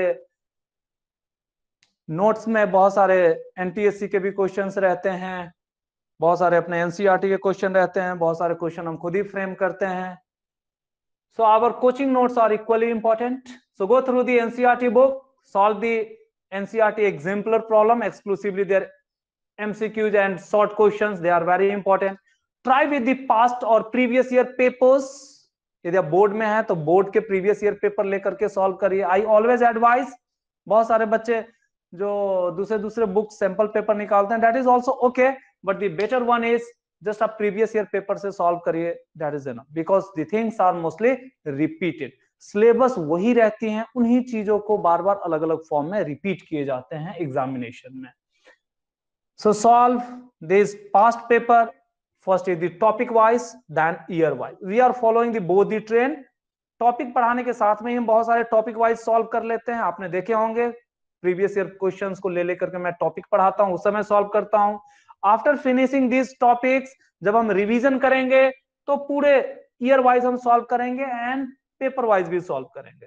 Then for the math the important thing is for initial topic you learn the topic first topic जब आप कर रहे हैं, उस समय भी प्रीवियस ईयर पेपर्स उस टॉपिक के करिए, हम आपको करवाएँगे भी। इसके लिए जो आपको बुक फॉलो करनी चाहिए one is NTSE explorer I had already mention and send in group another book is our study package by McGraw Hill it is also okay okay but you just purchase only one I think this first one is the best one और the better option N T S C explore is the best book इसके अलावा और भी बहुत सारी आती है। दिशा publication के आते हैं अरिहंत पब्लिकेशन के आते हैं बट उन सब में बहुत ज़्यादा एरर है स्टूडेंट उनके जो एमसीक्यूज के ऑप्शंस हैं उनके आंसर बहुत ज़्यादा गलत दिए हुए हैं and students are getting confuse okay so those book have too much error the least error or almost error free book are these two only ntsc explorer is the best followed by study package by mcgraw okay but i advise follow this ntsc explorer. After this, you purchase one of the book for the previous year papers. जो NTSC के previous year papers के book हैं, वो purchase करके उनसे practice करेंगे। उनमें भी हालाँकि एरर रहते हैं बट आपको पता चल जाते हैं where is the error so NTSC MAT made easy इसके अलावा आप चाहे तो एक और भी कर सकते हैं। यदि मैट आप ज़्यादा प्रैक्टिस करना चाहते हैं इसमें भी MAT NTSC explorer includes both MAT and SAT but if you want to practice more for the mental ability test so mental ability test made easy by mtz publication, it is also okay. But इसमें थोड़े ज़्यादा ही question दिए हुए हैं and question are quite repetitive तो बच्चे शायद उतने कभी कभी कर नहीं पाते हैं तो थोड़ी प्रॉब्लम होती है it is quite voluminous otherwise this book is also good book but there is another book जिसमें आपको कम क्वेश्चन दिए हुए हैं हुए हैं बट हर टाइप के क्वेश्चन हैं it is your fast track mental ability test by Arihant pub publication. This book is also okay. But I don't advise to go through these books even. हमने जो आपके लिए क्वेश्चंस uh, के अलग से set और prepare preparation हमने किए हैं प्रीवियस ईयर पेपर्स को लेकर के हमने एक अलग से पेपर्स और बुकलेट बनाए हैं that I will give you उसको आप करेंगे तो that is also sufficient with this NTSC explorer with the इस यहाँ क्लास में जो हमको, आपको प्रैक्टिस करवाएँगे उससे आप खुद से दोबारा प्रैक्टिस करिए though thing will be enough so this NTSC explorer is the very first thing that you have to keep in mind इसको पहले फॉलो करेंगे. Remaining books are just for your satisfaction though not that much urgent बाकी बुकें खरीदने की ज़रूरत नहीं है। आप केवल एक ही बुक खरीदे, यही बुक खरीदे अभी। बाकी बच्चे बहुत पूछते रहते हैं, सर एडिशनल हमें मैट करना है। तो उनके लिए ये लिखा हुआ है। एडिशनल और भी बुक खरीदने हैं, उनके लिए ये लिखा हुआ okay it is this one the important thing is our coaching और ट्यूशन के जो स्टडी मटेरियल है, बहुत इंपॉर्टेंट है। बहुत सिंप्लीफाइड तरीके से हमने पढ़ाए हैं, आपको लिखाए हैं। This thing are very important students for this set again regarding the book science के लिए आप NCERT text book and exemplar problem follow करिए, अपने नोट्स फॉलो करिए, अपने वीडियोस को बार बार देखिए this are enough for social science state के जो बुक्स हैं, अपने कर्नाटका के जो स्टेट बुक है that we need to follow NCERT का बुक फॉलो करिए these are enough exemplar problem चाहिए तो सॉल्व करिए कोचिंग के नोट्स वीडियोस को देखिए. मैथ्स में एग्जाम्पलर प्रॉब्लम के notes and R D Sharma is also good that we are already following here in our class. Math topic wise year wise previous year papers आप बस solve करिए। Student बहुत सारे बच्चे इसमें एक चीज़ें आती हैं। बहुत सारे बच्चे को इनिशियली वो इतने इंथीजियाज्म हो जाते हैं इनको लेकर के कि वो YouTube में बहुत सारा हंटिंग करना शुरू कर देते हैं और गूगल में बहुत सारा कुछ ढूंढना शुरू करते हैं। But student keep in mind this YouTube और Google they are like ocean आप कुछ चीज़ें सर्च करते हैं रिलीवेंट आपको मिलते हैं it is very good but बहुत बार उसमें इतना सारा कुछ मिलता है रिलीवेंट के अलावा अनरिलीवेंट भी रहते हैं and you are just wasting the time rather than learning क्योंकि सेम टॉपिक उन्हीं सीरीज़ को एक नहीं, आपको पचास मिल जाएँगे अलग अलग टीचर्स के। तो आप एक किसी टीचर के पूरे सीरीज़ कंप्लीट करने के बदला आप सीरीज़ ही पचास टीचर के देखेंगे एंड आप टाइम वेस्ट कर लेंगे जो दूसरे क्लासिफिकेशन है एनालॉजी है अनदर ब्लड रिलेशन है सेट है, बहुत सारे चीज़ें मिस कर जाते okay, student? So, i always advise stuck to the minimum resources and do the smart studies. यदि आप वो करेंगे तो बहुत इंपॉर्टेंट है। इसके अलावा अपने जितने भी वीडियोस हैं on the YouTube they are more informative और इनफ इंफॉर्मेटिव आप देखते होंगे हम कितने डिटेल में पढ़ाते हैं। बट बाकी जो यूट्यूब के वीडियोज़ हैं दे आर ऑल्सो गुड क्योंकि कोई भी टीचर पढ़ाता है दे or I cannot say they are not good but बहुत सारे हैं कि बहुत सारे शॉर्ट में थोड़ा पढ़ाया एंड जल्दी से वीडियो खत्म हो जाए, इसके लिए वो शॉर्ट में बना देते हैं। Okay I never believe in that just half an hour के वीडियो में आप सीरीज़ क्या सीखेंगे? कुछ भी नहीं सीख सकते। अनलेस और until you are going through the videos of two hour और थ्री आवर्स आप देखते होंगे हमारे क्लास कितने लंबे लंबे होते हैं। इसीलिए कि हम क्लास में हर चीज़ बहुत डिटेल में डिस्कस करते हैं। जस्ट टॉपिक लिखना डेफिनेशन लिखना टॉपिक खत्म करना टीचर्स को भी इजी रहता है बट उससे बच्चे कुछ नहीं सीखते हैं। So my advice you must put habit of learning the topic in detail do not think कि जस्ट टॉपिक का डेफिनेशन पढ़ लिया है, दो तीन पॉइंट बस याद रख लिया that is enough that will not be useful वो एकेडमिक्स में आपके यूज़ आ जाएँगे, आ सकते हैं बट कंपटीशन में कभी यूज़ नहीं आते हैं. कंपटीशन के लिए आप जितना डिप में जा सकते हैं, उसी टॉपिक के यू मस्ट गो एंड आप देखे होंगे, हमारे पढ़ाई में इवन इधर क्लास में भी हम बहुत डिप तक आपको एक एक चीज़ समझाते हैं. So please maintain that habit and try to adjust with me वो बच्चे जो मेरे साथ एडजस्ट हो जाते हैं, उनको लाइफ में कभी कोई दिक्कतें नहीं आती। कि कहीं भी आप कोचिंग में जाइए, किसी भी आप इंस्टीट्यूट में जाइए, जो कितना भी रिग्रेस पढ़ाता हो बट बहुत सारे बच्चे नहीं हमारे साथ एडजस्ट हो पाते हैं बिकॉज़ हमारे क्लासेस काफ़ी लेंदी होते हैं। लेंदी मीन्स बहुत ज़्यादा इंफॉर्मेटिव होते हैं, इसलिए वो ज़्यादा टाइम लेते हैं। एंड हम हर चीज़ को बहुत स्लोली स्लोली आपको समझाते भी हैं। कोई भी टॉपिक ऐसा नहीं कि हम छोड़ करके जस्ट आगे बढ़ जाते हैं। सेम चीज़ों को हम I am speaking in English Hindi करना बहुत कम आती है। So I can understand but I can not speak और थोड़ा थोड़ी आती है थोड़ा थोड़ा बोल पाता हूँ। सो so, कन्नड़ा नहीं बोलता okay so student you must wherever required then only use youtube and google पहला प्रेफरेंस आप अपने कोचिंग वाले और ट्यूशन वाले को दें। यदि आपको चीज़ें नहीं समझ में आई आप ट्रिक्स नहीं समझे या आपको मेमोराइज नहीं हो रहा है, आप टीचर से पूछिए कि, सर, इसको मेमोराइज करने का कोई तरीका है क्या? टीचर है वेरियस आइडियाज़ आपको मेमोराइज भी करवा देते हैं ओके बहुत इजी रहता है। उसके बाद ही आप YouTube एंड गूगल में जाएँ। अदरवाइज़ आप शुरू से ही पहले ही टॉपिक सर्च करेंगे एंड YouTube शुरू करेंगे, इतने सारे वीडियोस मिलेंगे, आपका टाइम बहुत वेस्ट हो जाता है। And once the time is wasted it will not come back the same situation is with the Google one हाँ कुछ ऐसे टॉपिक है कि नहीं समझ में आए लगता है कि कहीं अच्छा मिल जाता है go through that one so that's why this YouTube and Googles are like ocean they are creating tension in you people but it is ultimately nightmare that is killing the time so use this thing mean इस ocean में से जानते हैं ना? Ocean में क्या रहता है? ओशियन में पानी की कमी है क्या? कोई पानी की कमी नहीं है। बट आपको प्यास लगे तो क्या आप ओशियन में ही खड़े हो जाइए? क्या आप पानी पी सकते हैं? नहीं पी सकते।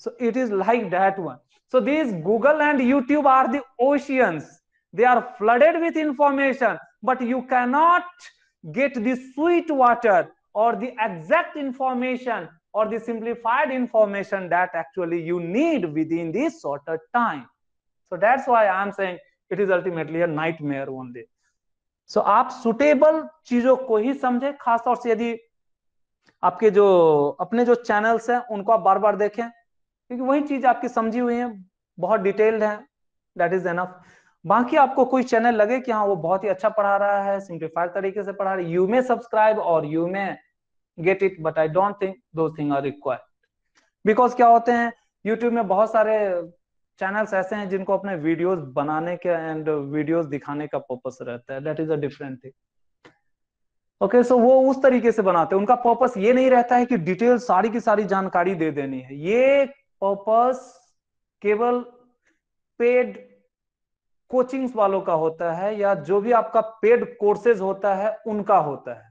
फ्री चैनल्स में ऐसे बहुत ही रेयर होते हैं जो कि सारे के सारे सीक्वेंस के फॉर्म में लिखे रहे आपके पूरे टॉपिक कवर हो different standard of question that will be that is very much rare so please do not waste the time आप, आज हमने आपको यही चीज़ बताया कि YouTube, Google में आप टाइम नहीं वेस्ट करेंगे। I am not saying do not go through this resources these are good resources but this are tempting one आपका टाइम का वेस्टेज हो जाता है सो आप प्रॉपरली यूज़ करें इन यूट्यूब एंड गूगल को। Okay it is this one now so this is all about the NTSC के बारे में हमने most of the things I have already covered और कॉम्पिटेटिव एग्जामिनेशन के लिए।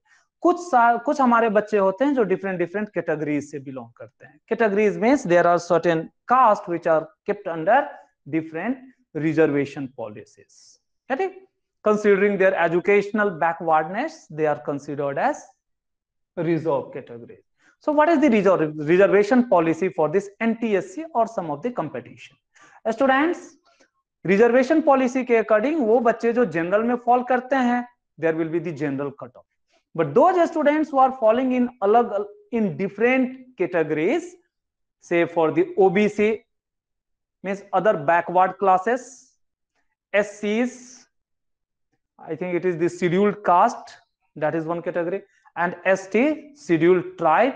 तो इन सब का सिलेक्शन का मार्क्स अलग अलग होता है what is that let us say as per the central government reservation rule for the different categories so different categories में जो गवर्नमेंट ऑफ़ इंडिया के रूल्स है उसके according student so total if you are considering say total 2000 students have to be selected then surely out of these 2000 students the 50% of the student will be from the SC categories Okay, what do you mean by 50%, 15%? So multiply this by 15 and divide it by 100. Cancel this to 0. It becomes 15 to the 30 and one more 0. So 300 students will surely be from the SC category. Means इस 300 आपके SC category से ही आने हैं इसमें general वाले का कितना भी ज़्यादा मार्क्स आ जाए they will not be for this one so only SC वाले ही लोग इसमें आएँगे। इसके लिए क्या किए जाते हैं? इनका नंबर भले ही कम रहेगा, इनका सिलेक्शन इस 300 को फुलफिल करने के लिए किया जाएगा। तो उनका सिलेक्शन कम मार्क्स पे हो जाएगा। S T again 15 percent it will come how 150 OBC 27 percent, accordingly you can get, multiply this by 27 it become 50 for this much OBC student, other backward classes. Another one is the PH, those who are physically challenged. जैसे बहुत सारे के रहते हैं आप देखते होंगे orthopaedic किन्हीं का हाथ वगैरह का बोन सही नहीं है पोलियो हो गया है means there are certain disabilities for them this four percent are fixed okay student so इन सबके मार्किंग और cut off are different so what are different cut off letter से student cut off is the minimum marks which you need to attend to qualify the examination ये ऐसा minimum marks है। Student यहाँ देखिए हमारे N T S सी में total दो subject हैं। One is our mat another is sat overall the examination is conducted for 200 marks students NTSC have declare that आपको मैट में मिनिमम मार्क्स लेकर के आने हैं से 65 then your SAT paper 50 but the total marks that you need to get is more than 135 then only you will be selected it is this one do not think this 135 is addition of these two student होता क्या है आप ये ऐसे समझे यदि आपके paper mat में 65 मार्क्स हैं आउट ऑफ़ द 100 तभी आपका सेट का पेपर चेक होगा या आपका रैंकिंग और आपके आगे क्वालिफिकेशन कंसीडर किया जाएगा। से आपके सेट के पेपर अभी चेक ही नहीं हुए you just forget it but यदि आपने मैट में out from this hundred you are just getting fifty five marks तो आप भले ही सेट में कितने भी मार्क्स ले आए से you are getting the eighty marks then still it become 135 marks इस दोनों को यदि आपने ऐड किया, आपका ये मार्क्स एक्योर्ड है but you will not qualify क्यों? क्योंकि आपको मैट में 65 से ऊपर लाना था। तभी आप जाकर के सिलेक्शन कट ऑफ़ के ऊपर मार्क्स आ जाए तो आप मानेंगे कि आपने कंपटीशन क्वालिफाई किया। Okay it is this one so there are three kind of cut off one is Uh, students there are total three kind of cutoff. One is our individual cutoff for the subjects. Say math in general it is 65 or 70 also sometime. Sat out of 100 50 marks you have to get. But do not think just by getting the 65 and 50 you will get selected. No. A student because if you are adding the 65 with this 50 it become total how much 115 but ये meaning नहीं है कि 115 marks आपको आ जाएँगे तो आपका selection हो जाएगा. No no. स्टूडेंट ध्यान दीजिए ये मिनिमम इतना लाएँगे इसमें इतना लाएँगे तो ज़रूरी नहीं आप सेलेक्ट हो. But it is required that MAT में आपको 65 मिनिमम लाने हैं तो 135 लाने के लिए आपको सेट में आप इसे जरा 65 को जस्ट सब्ट्रैक्ट कर लीजिए यू नीड व्हाट 80 तो यदि आप 80 लाएँगे, यहाँ 65 लाए, यहाँ 80 लाए तो 135 मिलकर के आपका सिलेक्शन हो जाएगा। ओके स्टूडेंट बट यदि आप सोचेंगे 65 50 लाऊं तो 115 हुआ सिलेक्शन नहीं होगा। Okay so it is okay another thing आपने यदि यहाँ पे 65 के बदले यदि आपने 60 ही लाए and यहाँ पे भले ही you are taking this as the 90 though you are getting 140 marks but still sorry even 160 50 marks not 140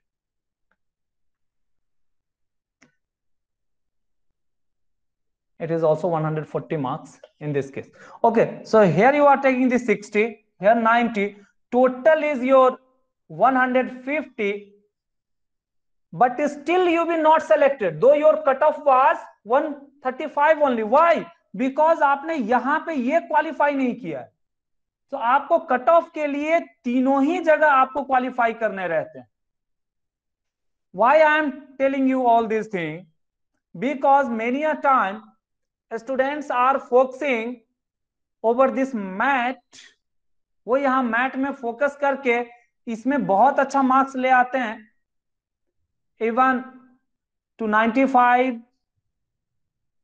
or say 99 someone is bringing may be possible do not think it is not possible say you are bringing this as the 95 बच्चे लेकर आते हैं student 100 में 95 marks math में लाना difficult नहीं है it is possible you can also break student but यहाँ पे बहुत सारे बच्चे ये 50 लेकर ही नहीं आते हैं they are just bringing 45 student तो उनके मार्क्स तो टोटल 140 होते हैं, लेकिन वो सेलेक्ट नहीं हो पाते। So you should be careful you have to get at least whatever the cut off is there उतना आपको लेकर आने हैं, तभी आप सेलेक्ट होंगे। The same is given in the example if someone is scoring 64 and here 67 he had got 148 but he is not being qualified. Because ये जो मैथ का कट ऑफ़ है उससे ये कम लेकर आया। दूसरा बच्चा देखिए 88 लेकर आया बट यहाँ 50 के बदले 48 लेकर आया। मार्क्स एस कट ऑफ़ यदि ये जो ब्लू लाइन में आप देख रहे हैं ना, ये कट ऑफ़ है minimum 136 should qualify no he will not qualify because of this cut off example 3 70 55 125 ये देखिए तीसरा में यहाँ कम हो गया he will not qualify but if the person is getting 85 greater than this 65 and here 55 he is getting 135 he will get select student okay, तो इस तरीके से मिनिमम कट ऑफ़ रहता है। तो देखिए स्टूडेंट ये कट ऑफ़ अभी कैटेगरी वाइज निकाले जाते हैं। This whatever cut off I have taken let me consider this for the general student तो जो भी कैटेगरी के स्टूडेंट होंगे उनका कट ऑफ़ इससे थोड़ा नीचे हो जाएगा। It may come as than twenty और इवन वन वो भी यहाँ भी थोड़ा कम हो जाता है। सिर्फ़ 48 आ जाएगा, ये भी थोड़ा कम होकर 60 हो जाएगा। Okay so individual cut off are there तो इंडिविजुअल कट ऑफ़ क्वालिफाई करने रहते हैं।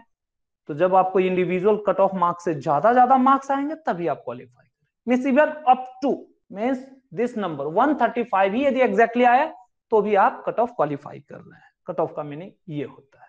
I hope everyone is getting any more doubt then now let us see the trending student क्योंकि इस कट ऑफ़ का मीनिंग क्या है? और कट ऑफ़ कितना कितना जाता है हर साल में? यहाँ से आप देख सकते हैं I have made various table this are bar graph student को बार ग्राफ पढ़ने में बड़ी डिफिकल्टी होती है।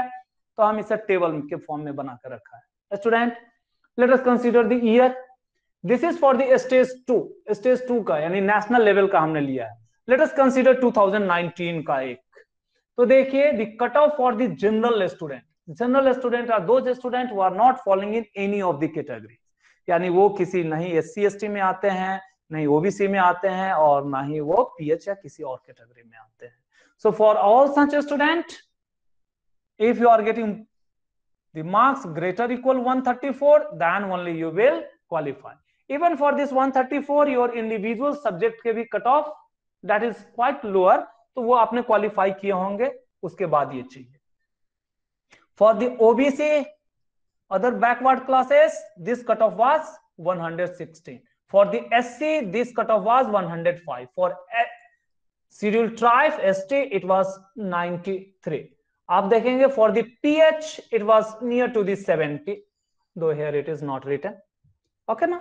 So all this cut off are out of this 200 200 में आपको मिनिमम जनरल वाले को इतना लाना है ओबीसी को इतना लाना है एससी को इतना एसटी को इतना तब जा करके वो कट ऑफ़ क्वालिफाई करेगा। तो देखिए स्टूडेंट 2019 में स्टेज टू फाइनल स्टेज में total 8,307 sorry 8,387 students appear okay इसमें 2,000 have qualified for the scholarship so in this 2019 total 8387 students appeared in which the students from the karnataka were around 370 now in this 8387 those students who are getting the highest marks so such 2000 students were selected. In that some of the students from the Karnataka may come or if none of the students are getting that much cut off, then none of the students may be selected. Okay, student? Means state 2 or level 2 or national level do not have any state quota. So state quota पहले में है but दूसरे में नहीं है आपको all India level के student से कंपटीशन करने पड़ते हैं student there are various changes from time to time in this NTSC आप देखेंगे तो इनिशियली थोड़े समय के लिए इंटरव्यू भी बच्चे का लिया जाता था once it was conducted in the class eighth तो एनटीएससी भी बार बार बहुत सारी चेंजेस करते रहते हैं but you should be ready for all those changes जो भी कुछ पॉसिबल चीज़ें हैं, सबके लिए आपको रेडी होने चाहिए। But the thing is that और the concrete thing is that you are, you have good understandings of your academics उसकी चीज़ों आपने बहुत अच्छे से पढ़ी है, आपको मेंटल एबिलिटी अच्छे से थोड़ी आती है, आपका आईक्यू लेवल अच्छा है then surely you can crack the examination कोई डाउट नहीं है। Provided you have to leave your laziness यदि आप अपने लेजीनेस छोड़ दें तो आप बहुत आसानी से कर सकते हैं। यदि आप ज़्यादा लेजी बनेंगे टाइम मैनेज नहीं करेंगे then it become very difficult now से student for the stage one की हम बात करें that was the national level now let us come for the Karnataka यदि आप कर्नाटका के देखेंगे let us consider for this same 2019 so stage one में selection means Karnataka this stage one का मीनिंग क्या है? हमें टॉप 370 स्टूडेंट सेलेक्ट करने हैं because we are considering this Karnataka okay ना? So in this 2019 cutoff was 143 out of the 200 it is there. For the obc 119 sc st it was 201 for the ph 87 so total see here 371 candidates were selected and they were sent for the state level so Karnataka का ये थोड़ा very करता रहता है दो चार आगे पीछे भी हो सकते हैं क्यों क्योंकि यदि समझिए सेम कट ऑफ़ पे marks 10 students ka hai even their date of birth and other things are also matching so all the 10 10 students are considered to be qualified so slightly increase or decrease may be there okay student now for this recent year abhi abhi jo isse pehle ka jo year tha usme the cut off was 151 129 and 117 13 and 74 even for this 20 and 21 में भी कभी cut off is declared okay student तो उसका भी result declare हो गया है। But कौन कौन से बच्चे भी सेलेक्ट हुए हैं cut off is finally not declare आपको शायद पता हो, अपने भी स्कूल से दो तीन बच्चे थ्री और four student have got very good marks so those students who have got more than 150 or 55 marks, they will surely get selected तो अपने स्कूल से भी कुछ बच्चे, आपके जो सीनियर्स हैं, उन्होंने काफ़ी अच्छे अच्छे मार्क्स लाए हैं। One of your senior have brought 165 एक ने 158 like that those student will surely get selected okay इससे पहले आप देखेंगे तो इंग्लिश भी 50 मार्क्स से पूछे जाते थे but now it is being drop तो वो सब चीज़ें mean this is L language test now it is change अब ये आपको नहीं पूछा जाएगा। आपके लिए जो हमने अभी सिलेबस बताया MAT and SAT only that thing will be ask So what is the percentage? Already I had explained.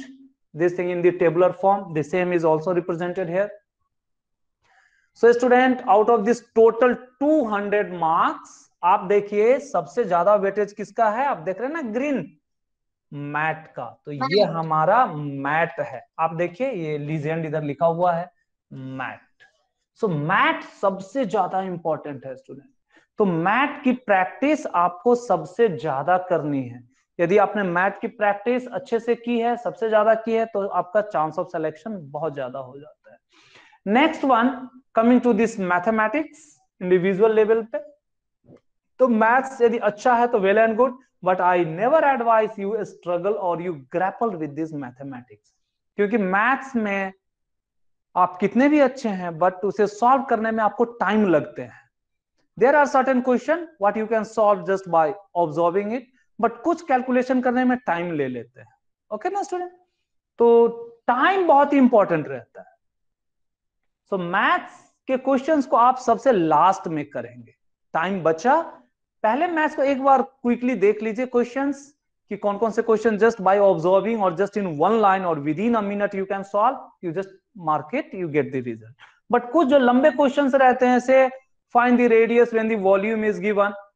हो सकता है वॉल्यूम का डाटा कुछ टेना मेरा हो तो रेडियस निकालने में कुछ पॉइंट्स में आ जाए तो बहुत डिफ़िकल्ट होती है। स्क्वायर रूट लेना है क्यूब रूट लेना है, वो सब बहुत डिफ़िकल्ट होता है। बट यही यदि आपको लगे कि no if it is given in this simple cube of some number easy so just by observation you can get how quickly you can solve the mathematics so maths though easy but it is time taking sir फिर से आपका voice lag हो रहा है हाँ all the students are getting my lag boys Yeah. No, sir.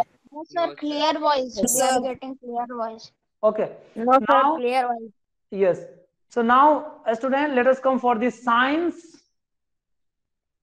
यदि आप science में आएंगे देखिए मैथ्स इज ओवर साइंस में आपके physics chemistry and biology it is our physics chemistry and biology everywhere it is 10 10 10 i have written so consider this these three part a student the good thing regarding this is that exclusively regarding chemistry and biology chemistry and biology का सबसे अच्छा चीज़ ये है कि यदि आपको आती है ना तो ये एक मिनट लेता भी नहीं है।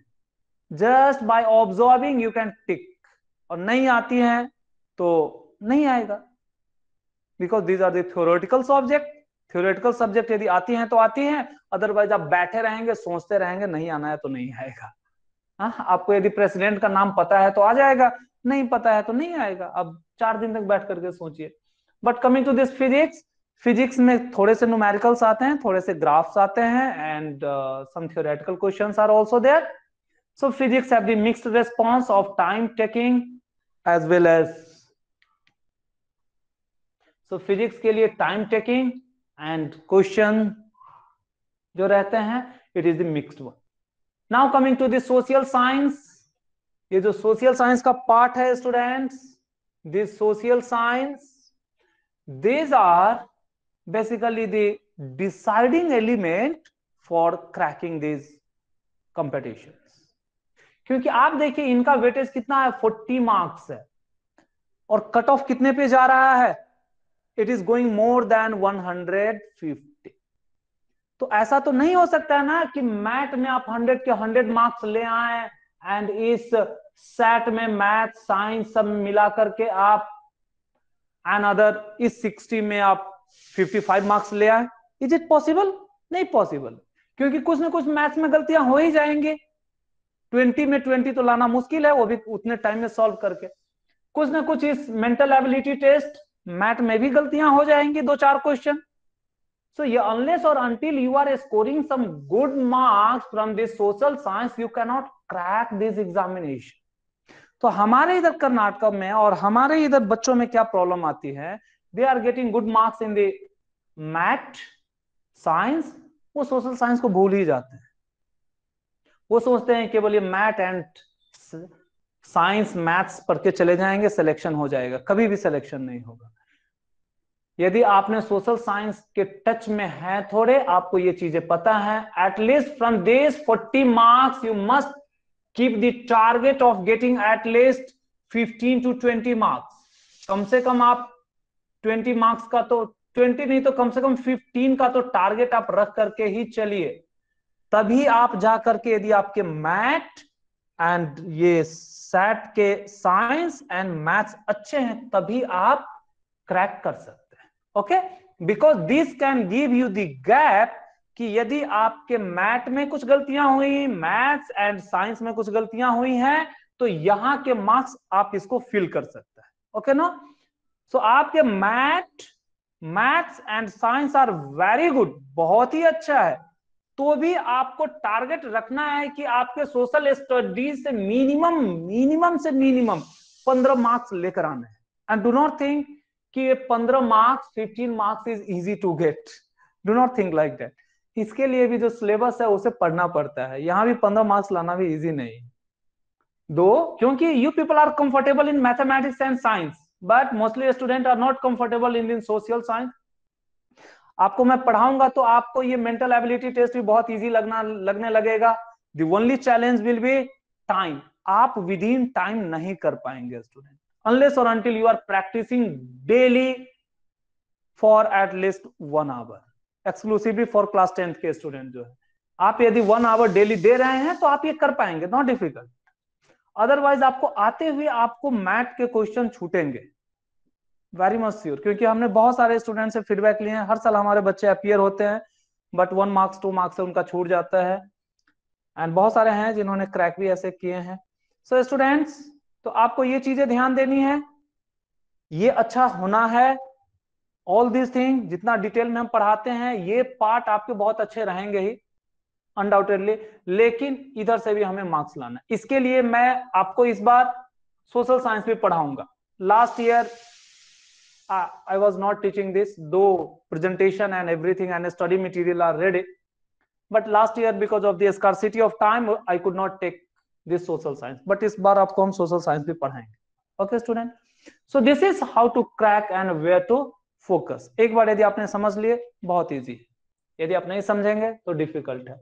Now coming to this student इसमें सबसे जो वाइटल चीज़ देख रहे हैं ना it is mental ability test now let us come for the mental ability test how is this mental ability test होता क्या है? इसके बारे में थोड़ी जानकारी आपको देता हूँ। देखिए स्टूडेंट जिस तरीके से आपने मैथ्स पढ़े होंगे देर आर सर्टेन चैप्टर्स से 15 और 20 चैप्टर्स इसी तरीके से मेंटल एबिलिटी टेस्ट में भी there are certain chapters what they are they are like this series analogy classification coding decoding mathematical reasoning missing character logics and Venn diagram blood relation direction sensing ranking order sitting arrangement clock and calendar यानी आपको clock दे दिया गया और पूछा जाएगा कि इस clock को कुछ दूसरे ओरिएंटेशन में रख दिया गया।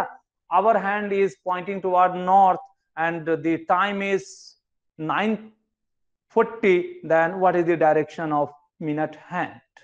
Okay, it is like that one. उस टाइप के क्वेश्चंस बनते देन कैलेंडर कैलेंडर का मीनिंग है, आज का डेट आपको पता है तो आज से पहले, यानी और आज से 10 साल पहले रिपब्लिक डे कौन से डे को था? Whether it was on the Sunday Monday Tuesday ऐसे ऐसे question they are also very easy not difficult such a thing figure will be given in that which is the different figure that you have to count then mirror image water image and some miscellaneous situation so these are the total broadly 15 topics that we have to understand or 15 chapters now coming to this series student यदि आप ये series लेंगे तो ये series को आपको number के form में भी रह सकता है और फिगर के फॉर्म में भी रह सकता है। स्टूडेंट, मैं यदि ये पूछूँ say I am giving you the number three five seven eleven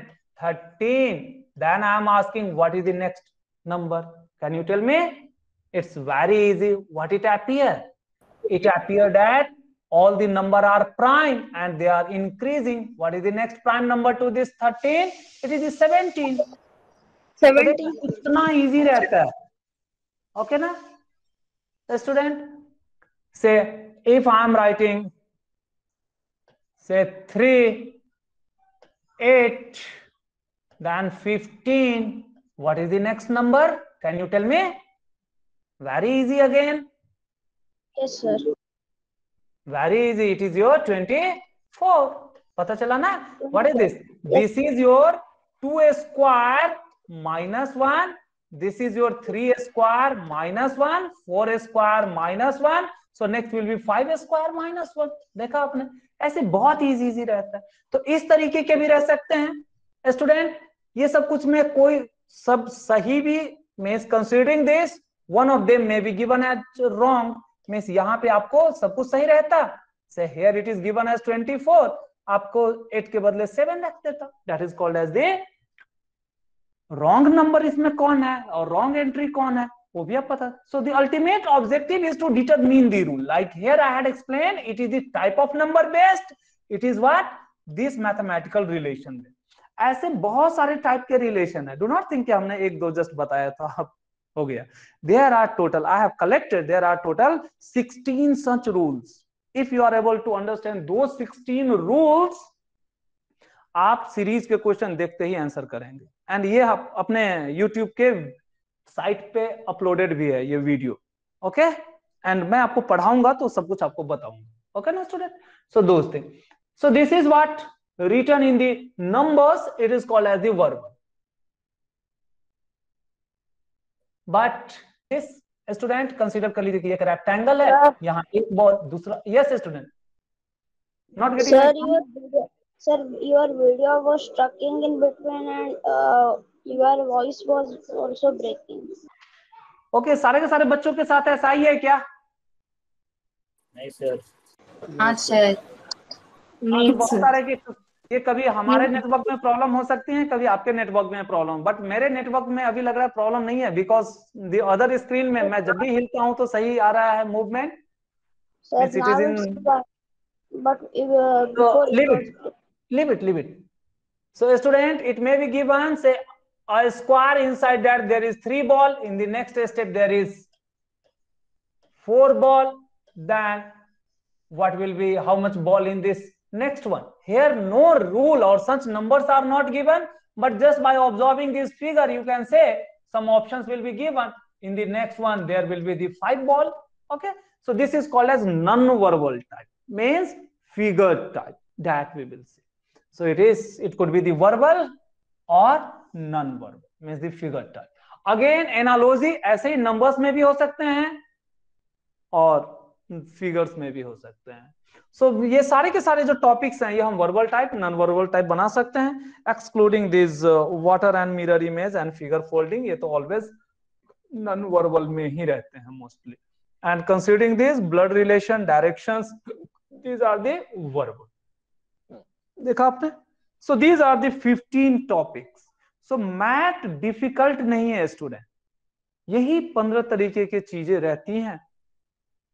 but इनमें even this series various type of series are possible even more than hundred type of series are possible तो आप कैसे determine करेंगे? आप क्या सोचना शुरू करेंगे? So there are certain clues that we have to understand certain basically milestone we are keeping in our mind student जैसे अभी आपको ये था three eight fifteen what is the next number आप क्या सोचना शुरू करें आप देख रहे हैं ना कि it is closer to the square of number like square of number अपने माइंड में ऑलवेज अवेलेबल रहता है. Just keep in mind these are the topics and these are very easy and ये बहुत ही इंटरेस्टिंग टॉपिक है. आप देखेंगे maths और साइंस पढ़ के आप बोर होते हैं बट ये करके आप बोर नहीं होंगे. प्रोवाइडेड आप ये मत सोचिए कि एक ही दिन में आप ये सबके पंडित बनना चाहते हैं। मीन्स एक ही दिन में आप विद्वान बनना चाहते हैं सबका। तो आप फिर बोर हो जाएँगे, आपको डिफ़िकल्ट लगेगा। बट थोड़ा थोड़ा bit by bit while you are learning and practicing daily on the daily basis you become more comfortable and it is very interesting thing so ये बट बहुत ही इंपॉर्टेंट भी है कंपटीशन क्वालिफाई करने के लिए। It is not only the NTSC जहाँ की ये पूछे जाते हैं, एंड जो हमने सब्जेक्ट और चीज़ें दिखाई, वो पूछी जाती है। Even if you are going for your olympiad और NSTSEs this olympiad means SOF NSTSE green olympiad your this GMO means junior science and various other competition हर जगह का कॉन्सेप्ट और तरीके ऑलमोस्ट यही रहते हैं student in most of the competition even this maths are also asked आपके SOF means the olympiad में भी ये पूछे जाते हैं। So almost in every competition this subject are more और लेस दे सेम तो हर जगह आप देखेंगे तो ऑलमोस्ट यही रहते हैं। स्टूडेंट आप देखेंगे फिजिक्स में एंड केमिस्ट्री में these are the chapters I am not going to read क्योंकि ऑलरेडी जो अलग अलग स्टैंडर्ड में स्टूडेंट्स हैं, उनके, उन्होंने बुक देखे होंगे तो they are able to understand say history these are the chapters that we have listed so this is all about कि आपने अच्छा पढ़ाई कर लिया, सब कुछ कर लिया तो लास्ट मोमेंट में while you are left with very few days, then what to do for this competitive examination? The very first important thing is competitive examination के लिए आपको लास्ट डेज़ में कोई चिंता नहीं करनी चाहिए। सबसे अच्छी बात कंपेटिटिव एग्जामिनेशन में यही है। क्योंकि कंपेटिटिव एग्जामिनेशन कभी लास्ट डे में प्रिपरेशन नहीं होता है, ये आपका एकेडमिक का स्कूल नहीं है। यदि आपने पहले से अच्छा पढ़ाई किए हैं अच्छा सीखे हैं तो लास्ट डे ज़्यादा मैटर नहीं करता है। और यदि आपने पहले से नहीं पढ़ा है लास्ट डे में आप कितना भी पढ़ना चाहेंगे you can not complete it but still the last week और few days before the examination are very important. What they are? Student, why they are? The very first one is you have to go for the frequent revision revision करना है। Revision करना का meaning है जो चीज़ आपने पढ़ रखे हैं, उन्हीं को आपको क्विकली देखने हैं। नए चीज़ें आपको पढ़ने या रटने की ज़रूरत नहीं है। For revision this last days are important last days में you have to keep patience आपको पैसेंट रहना, आपको ज़्यादा ऐसा नहीं कि मेंटल टेंशन लेने हैं कि नहीं, अभी इतना दिन में नहीं कि अभी मेरे को पढ़ के करना है।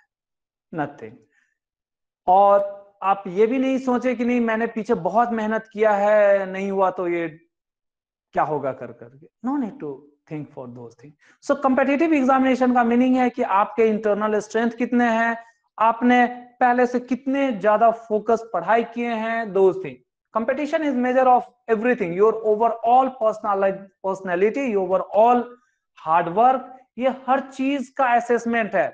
आप जस्ट लास्ट डे में पढ़ाई करने का असेसमेंट नहीं है मीन्स आपने कितने टाइम डिवोट किए हैं everything is assessed in this competitive examination student examination is ultimately whatever the homework you have done कितना आपने मेहनत किया है उसी पे आउटकम है उसी का आउटकम है। सो so, जो बच्चे अच्छे से पढ़ाई करते हैं मेहनत करते हैं पूरा अच्छा प्रिपेयर करके रखते हैं वो एग्जामिनेशन को वेलकम करते हैं। बट जो बच्चे खेलने में इधर उधर टाइम वेस्ट किया है उनको एग्जामिनेशन से ऑलवेज फियर ही रहता है हाँ। सो so, अभी से भी आपको सीखने हैं examination is ultimately your output stage की जो आपने मेहनत किया है तो आपको दिखाने का मौका है okay it is like that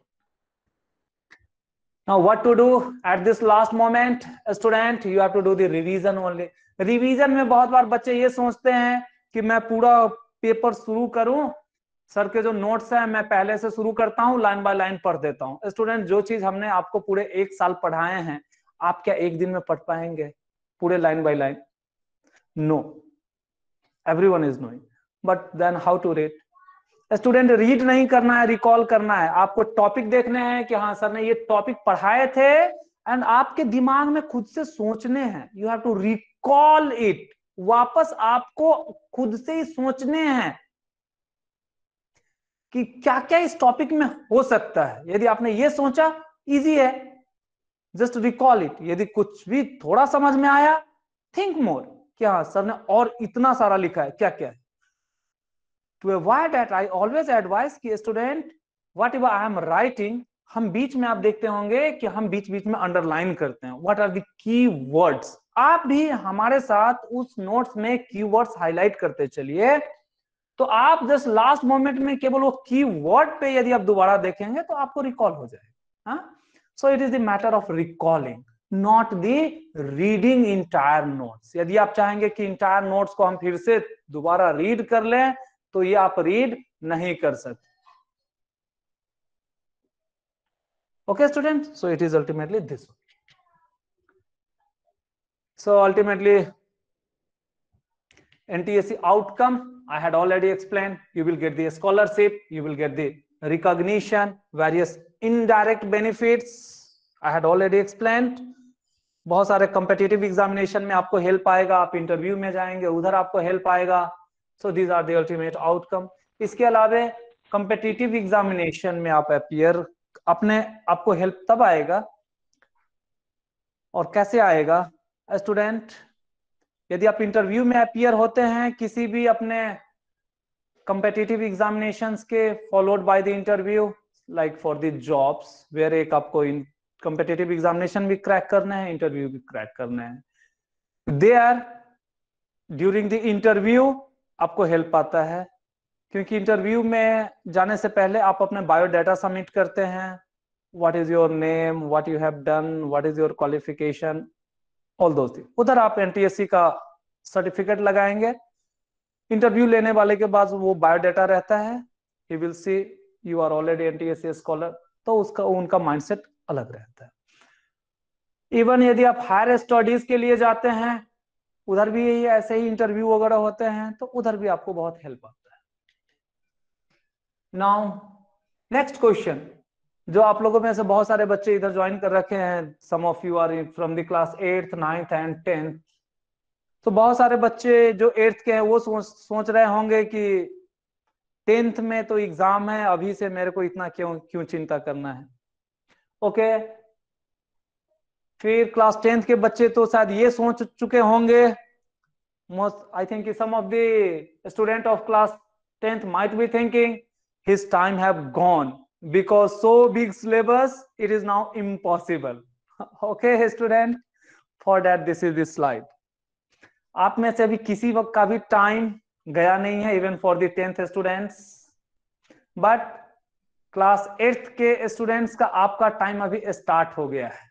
Okay? So all of you are in between the range but while you are in between the range आपके ड्यूटीज़ अलग अलग रहेंगे। What are those duties let me just recall it who and when to start this preparation students class tenth में तो ज़्यादातर बच्चे को जानकारी मिलती है कि हाँ एनटीएससी कोई चीज़ होती है जो टेंथ में कंडक्ट हो, होनी है। इसलिए वो टेंथ में शुरू करते हैं। बट जो बच्चे एट्थ में हैं उनको यदि इतनी सारी की सारी जानकारी हो एंड उनमें यदि ये जील हो he want to crack the competition then class eighth is the ideal time ये सबसे अच्छा टाइम है। क्यों? क्योंकि जो मैथ हंड्रेड मार्क्स का है, इसका practice practice practice practice makes a man perfect तो आप एट से शुरू करिए टेन तक आप परफेक्ट हो गए रहेंगे। Surely you can get more than 90 marks out of the 100 and surely you can crack the examination correct class ninth के बच्चों के लिए उनका टाइम स्टार्ट हो चुका था बट वो स्टार्ट नहीं किए हैं but don't worry still you have enough time ठीक ना? क्योंकि आपके नाइन्थ के सिलेबस रहेंगे टेंथ के सिलेबस रहेंगे few question will be from eighth students just if if you are considering the ninth and eighth students total if you are considering the hundred question are there और hundred marks are there if you are considering the on this side students तो देखिए mostly out of this hundred question of I am talking for this SAT not for the MAT क्योंकि MAT में तो कोई syllabus है ही नहीं, तीनों साल में सेमी सिलेबस है। बट यदि आप सेट की बात कर लेंगे so for the class tenth tenth से, यानी आपके टेंथ के सिलेबस से अप्रोक्सीमेटली 50 टू 60 क्वेश्चंस 50 टू 60 इतना तक डायरेक्टली क्लास टेंथ से आते हैं। Okay student keep in mind so 50 percent he question आपके क्लास टेंथ से आएँगे। 60 तो बहुत ज़्यादा होता है। Mostly it is keeping as the 45 to 50 that is the better one आप इसको बेटर है 45 टू 50 समझे। और 55 तक आप समझ सकते हैं। आउट ऑफ़ 100 क्वेश्चन 45 क्वेश्चन रफली will come from the class tenth यदि आप क्लास नाइन्थ में आएँगे क्लास नाइन्थ में आपको 35 से 45 क्वेश्चंस आपको पूछे जाते हैं। Even slightly you can lower it down 30 questions रहेंगे तो अभी आप बस इस लोअर एंड को जस्ट काउंट कर लीजिए। क्लास एट से it will be only 20 question 20 to 25 you may consider or 25 to 30 you may consider. Okay student? Roughly it is basically the 20 तो क्लास एट्थ से ये 20 क्वेश्चंस आपको पूछे जाएँगे। स्टूडेंट तो क्लास एट्थ के एकेडमिक बहुत सारे बच्चे को इंपॉर्टेंट नहीं लगता है but these are also important okay खास तौर से जो बेसिक चीज़ें हैं like the forces you have learn in class eighth इसी का डिटेल्ड फॉर्म आपके क्लास नाइन्थ एंड टेंथ में like crop you have learn in the class eighth but more detail is in the class tenth so same ही चीज़ें हैं even थोड़ा ज़्यादा detail में है. That's why even these questions are also covered in class tenth and ninth so ये not the entire one but इस twenty में से रफली आप देखेंगे तो फाइव टू टेन क्वेश्चन आपको फिर से इन सब में कहीं ना कहीं इनडायरेक्ट तरीके से मिल जाएँगे। नॉट डायरेक्टली डायरेक्टली तो आपके बुक में यदि एनसीआरटी के बुक में ढूंढेंगे तो ये क्लास एट के ही बुक में मिलेंगे।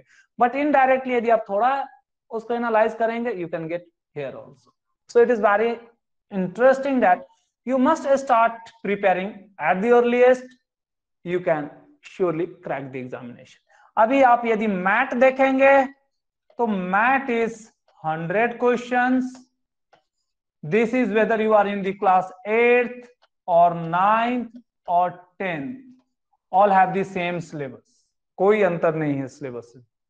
तो आपको बस प्रैक्टिस करना है। It is this one so student ideal time to start is for the class eighth eighth के बच्चे जो सीरियस हैं, अभी से यदि आप थोड़ा ध्यान देंगे, आपके लिए बहुत ईजी है। But ninth is the most practical time most practical का मीनिंग है कि आप थोड़े से ज़्यादा मैच्योर भी हो चुके हैं एंड आपके क्वेश्चंस भी आपके बुक से ज़्यादा पूछे जाएँगे। देख रहे हैं ना? सो so, नाइन्थ के बच्चे को तो बिल्कुल ही सीरियस हो जाना चाहिए। एट्थ के बच्चे को स्टार्ट करना चाहिए। नाइन्थ के बच्चे को थोड़ा सीरियस रहना चाहिए। एंड टेंथ के स्टूडेंट्स आप देखिए आपके भी क्वेश्चंस बहुत ही ज़्यादा आपके सिलेबस से आने वाले हैं। एंड आपने ऑलरेडी क्लास नाइन्थ पढ़ रखे हैं। तो यदि आप फास्टली थोड़ा रिवाइज करेंगे इन सेट को।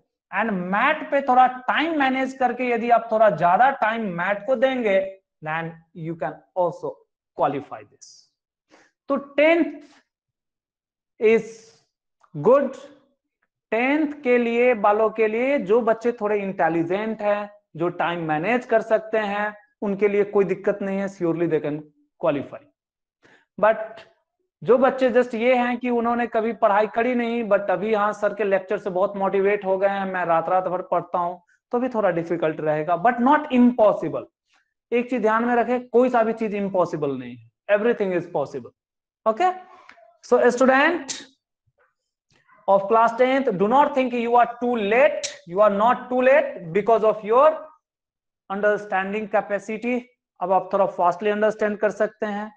आपने ऑलरेडी ज़्यादा खेलने के बदले अब आप पढ़ाई ज़्यादा कर रहे होंगे, क्योंकि क्लास एट तक ज़्यादा लोग, ज़्यादा बच्चे प्लेग्राउंड में रहते हैं बट नाइन टेंथ में सिलेबस बढ़ जाती है तो उनका हैबिट पढ़ाई के टुवर्ड ज़्यादा हो जाता है। So you can learn efficiently so that's why you must be serious not only serious but आपको सीरियस बहुत ज़्यादा सीरियस होने की ज़रूरत है क्लास टेंथ के स्टूडेंट जो क्रैक करना चाहते हैं।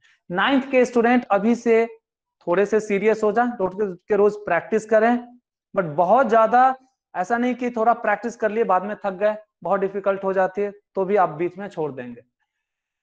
So ultimately it is the slow and steady that wins the race that strategy we have to follow for the class 8th and class 9th class 10th untiredlessly आपको बिना थके हारे अभी से continuously you have to run faster because you have that capacity तभी आप कर पाएँगे, नहीं तो टेंथ में बहुत डिफ़िकल्ट होता है। Because my observation is that tenth के बच्चे टेंथ के वही बच्चे क्रैक कर पाते हैं और किया है जिन्होंने क्लास एट्थ नाइन्थ में थोड़ा पहले से पढ़ाई करके रखा है। आप जिन्होंने भी अच्छे मार्क्स लेकर आए आप उनसे पूछ सकते हैं those students have also appeared in other competition in the class 8 like they have appeared in NSTSC they have appeared in Olympiad class 10th के लिए NST NSTSC Olympiad and NTSC is also available but for the class 8th and 9th इन बच्चों के लिए NTSC available नहीं है आपके लिए क्या क्या एग्जामिनेशन अवेलेबल है सो so, स्टूडेंट आप ये मत सोचिए कि एट्थ में है तो आपको जस्ट सर बोल रहे हैं पढ़ने के लिए कोई कंपेटिटिव एग्ज़ाम नहीं है। आपके लिए भी हैं बहुत सारे। एसओएफ के जितने भी सारे एग्जामिनेशन है like it can be the IMO सबने सुन रखे होंगे। एनएसओ ये दो तो मिनिमम करिए ही। यदि आप जीके हैं तो जीके भी करिए। सो so, ये इसके अलावे हर स्टैंडर्ड में there is N S TSE. This is not NTSE, it is NSTSE. ये एस एडिशनल है. It is National Science Talent Search Examination NTSE National Talent Search Examination ये सारे के सारे स्टैंडर्ड्स के लिए ये अवेलेबल है. ओके ना? Even for the standard two और three this is also available okay two to ten तक के लिए. एनएसटीएससी दो these examination are conducted by the private organization like uh, this is conducted by Science Olympiad Foundation. This is conducted by some Unifield Council, UFC, Hyderabad. तो अलग अलग competitive examination अलग अलग agencies conduct करती हैं though these examinations or these agencies are private but इनके questions बहुत ही अच्छे अच्छे लेवल के होते हैं एंड इन सब एग्जामिनेशन में भी ऑल इंडिया से स्टूडेंट्स अपियर होते हैं। So those student who have the history of cracking this examination, they have cracked this ntsc very easily. That's why these examinations are equally useful. So student जो class eighth के हैं, आप ये सोचिए कि आप ये सब पढ़ाई करेंगे और आप लोग इस एग्ज़ाम में अपियर होते जाएँगे। ये आपको आगे यूज़ आने वाला है। एट्थ एंड नाइन दोनों के लिए। क्लास टेंथ के लिए you must focus over over the NTSE rather than diverting these thing क्योंकि आप मार्केट में और यूट्यूब में यदि आप सोचना शुरू करेंगे, ढूंढना शुरू करेंगे तो एसओएफ के अलग से वीडियो मिलेंगे, इनके अलग से वीडियो मिलेंगे एनटीएससी के अलग से वीडियो मिलेंगे students are getting confuse so for class tenth students are advise to focus over the NTSE आप इनके ही पेपर प्रीवियस ईयर के लेकर के सॉल्व करिए, आप इनका मैथ सॉल्व करिए. Class eighth and nine students आप इन दोनों के means at least these two there are other question other competitive examination also like gmo and jso junior maths olympiad junior science olympiad this is conducted by kendriya vidyalay kbs kendriya vidyalay sangathan they are conducting this it is the government organization तो वो ये conduct करते हैं। सो so, ऐसे ऐसे बहुत सारे examination आपके लिए हैं स्टूडेंट कीप इन माइंड एक बार यदि आपके प्रिपरेशन अच्छे हो गए हैं आप इन एग्ज़ाम में अपियर होते हैं you will enjoy this this examination but यदि आपने प्रिपरेशन अच्छे से नहीं किया है फिर आप इन एग्ज़ाम में अपियर होंगे यू विल गेट फ्रस्ट्रेटेड क्योंकि आप इनके क्वेश्चन सॉल्व नहीं कर पाएँगे फिर बोलेंगे अरे क्या टफ टफ क्वेश्चन डाल देता है कुछ आता थोड़े? नो बिकॉज़ आप ही के क्लास के दूसरे बच्चे इसे सॉल्व कर रहे हैं तभी तो एग्ज़ाम चल रहा है ना।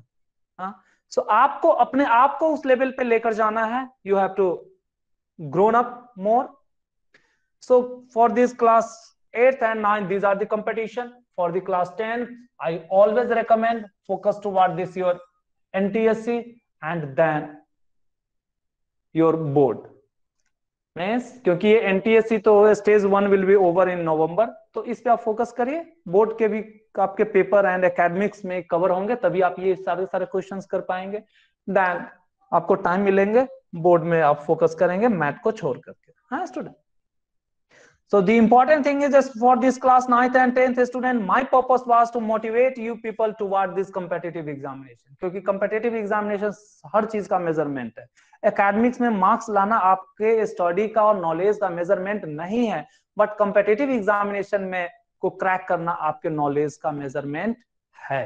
गेटिंग ना स्टूडेंट एंड आई थिंक जो हमारे बच्चे हमारे इधर पढ़ते हैं सबने देखे होंगे whether they are in the class ninth और एट्थ और टेंथ हम कितना डीपली आपको पढ़ाते हैं कितना मेहनत से आपको पढ़ाते हैं। My purpose is to crack this examination in addition to academic academic के साथ साथ ये सारे के सारे एग्जामिनेशन आप क्रैक करिए।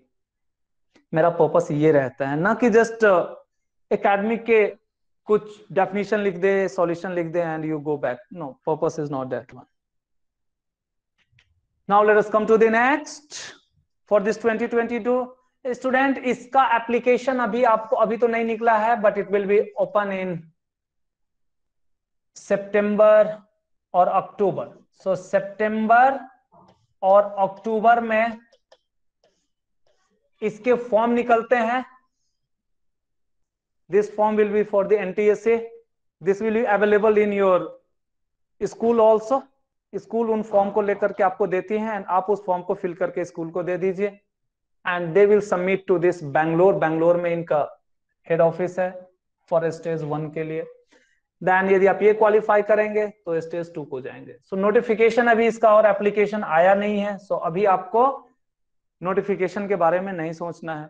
बट डू नॉट थिंक कि नोटिफिकेशन जब आएगा तब से पढ़ाई शुरू करेंगे यदि आप तब से पढ़ाई शुरू करेंगे वो भी यदि but if you are in the class 10 then i am very sure very difficult to complete so right now we shall start during the this bigger discussion i have explained everything but still five important things that you need to keep in mind what they are the very first is student you must understand it is you people who have to crack this examination it is not me or your parent but your teacher role and your parent role is that they will guide you they will show you the path जैसे अभी आपने देखा हमने कितना detailed explanation आपको दिया ये explanation यदि आप खुद से सर्च करते do think it is nearly two and half hour और may be the three hour but यदि आप ये एक्सप्लेनेशन आप खुद से यदि नेट में सर्च करते तो इतना सारा एक्सप्लेनेशन के लिए आपको not this three hour but minimum तो टेन आवर क्या दो दिन, चार दिन तक आप ढूंढते रह जाते। आप एक बार कट ऑफ़ ढूंढते एप्लीकेशन कब निकलता है, कौन कब अपियर होता है, कब हमें तैयारी करनी चाहिए, क्या पूछा जाएगा, क्या सिलेबस रहेगा एक एक वीडियो अलग अलग मिलते जाते, आधे एक एक दो दो घंटे के एंड आप सबको देखते जाते बट फिर भी कितना समझ में आता? Quite difficult okay student so that's you might have observe your teacher have guided you आपको उन्होंने रास्ता बताया कि स्टूडेंट ये बहुत डिफ़िकल्ट भी नहीं है बट कंपटीशन इजी भी नहीं होता है. So you should be ready for that so in this way your teacher shows your show you the path and you will have to go on it. Means i will keep going. If you have this determination that you will continue to keep going surely you can crack because i have shown you the path and everything. Teacher and parent can show the path but a student have to run over that. It is this one. A student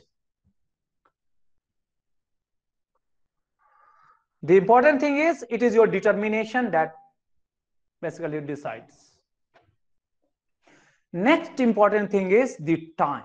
Regarding this time management, I had explained everything, but just recall time is the most precious or most important thing. And you have to give the time for yourself. Yourself means what? You are reading the book, you are giving the time to yourself but if you are playing, whether you are giving the time to yourself, no student, you are giving the time to your friends. You are wasting the time. I'm not saying playing is totally wasting the time, but if you are playing for the recreation or for to certain extent, say for half an hour, for refreshment, it is good. But बहुत सारे बच्चे खेलना शुरू करते हैं तो time का पता ही नहीं है then surely you have wasted the time. You are watching the unwanted thing से बहुत को सीरियल पसंद है you are wasting the time nothing else okay so only you are reading means you are giving the time to yourself why yourself only you are gaining the knowledge you are getting the potential you become become a gentleman आप एक अच्छा आदमी बन सकते हैं। Means आपने अपने आप को टाइम दिया है। Students many of our students are wasting the time over the Facebook social network and various PUBGs and other games. Say, means if you are wasting the time on your Facebook, means you want to show what? Facebook. A student, my advice is you please see your face in the book, not in Facebook. यदि आप अपने चेहरे book में देखेंगे तो कल का आपका नाम बड़े बड़े पेपर्स में निकलेंगे टीवी पे आएँगे, आप बड़ा अच्छा आदमी बनेंगे। लेकिन यदि अभी आप फेसबुक में जाकर टाइम देंगे तो वो कोई नहीं देखेगा। हाँ अभी जो आपके दो चार फ्रेंड्स देख रहे हैं ना, वो भी कल को नहीं देखेंगे।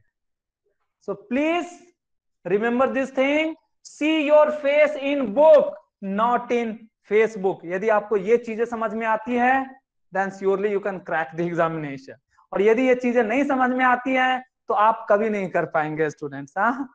So I hope time is the most precious thing and you must honour the time what is the requirement accordingly you have to use the time so getting control over your time यदि आपने time पे control mean time management इतना बड़ा lecture हमने अभी दिया था आपको।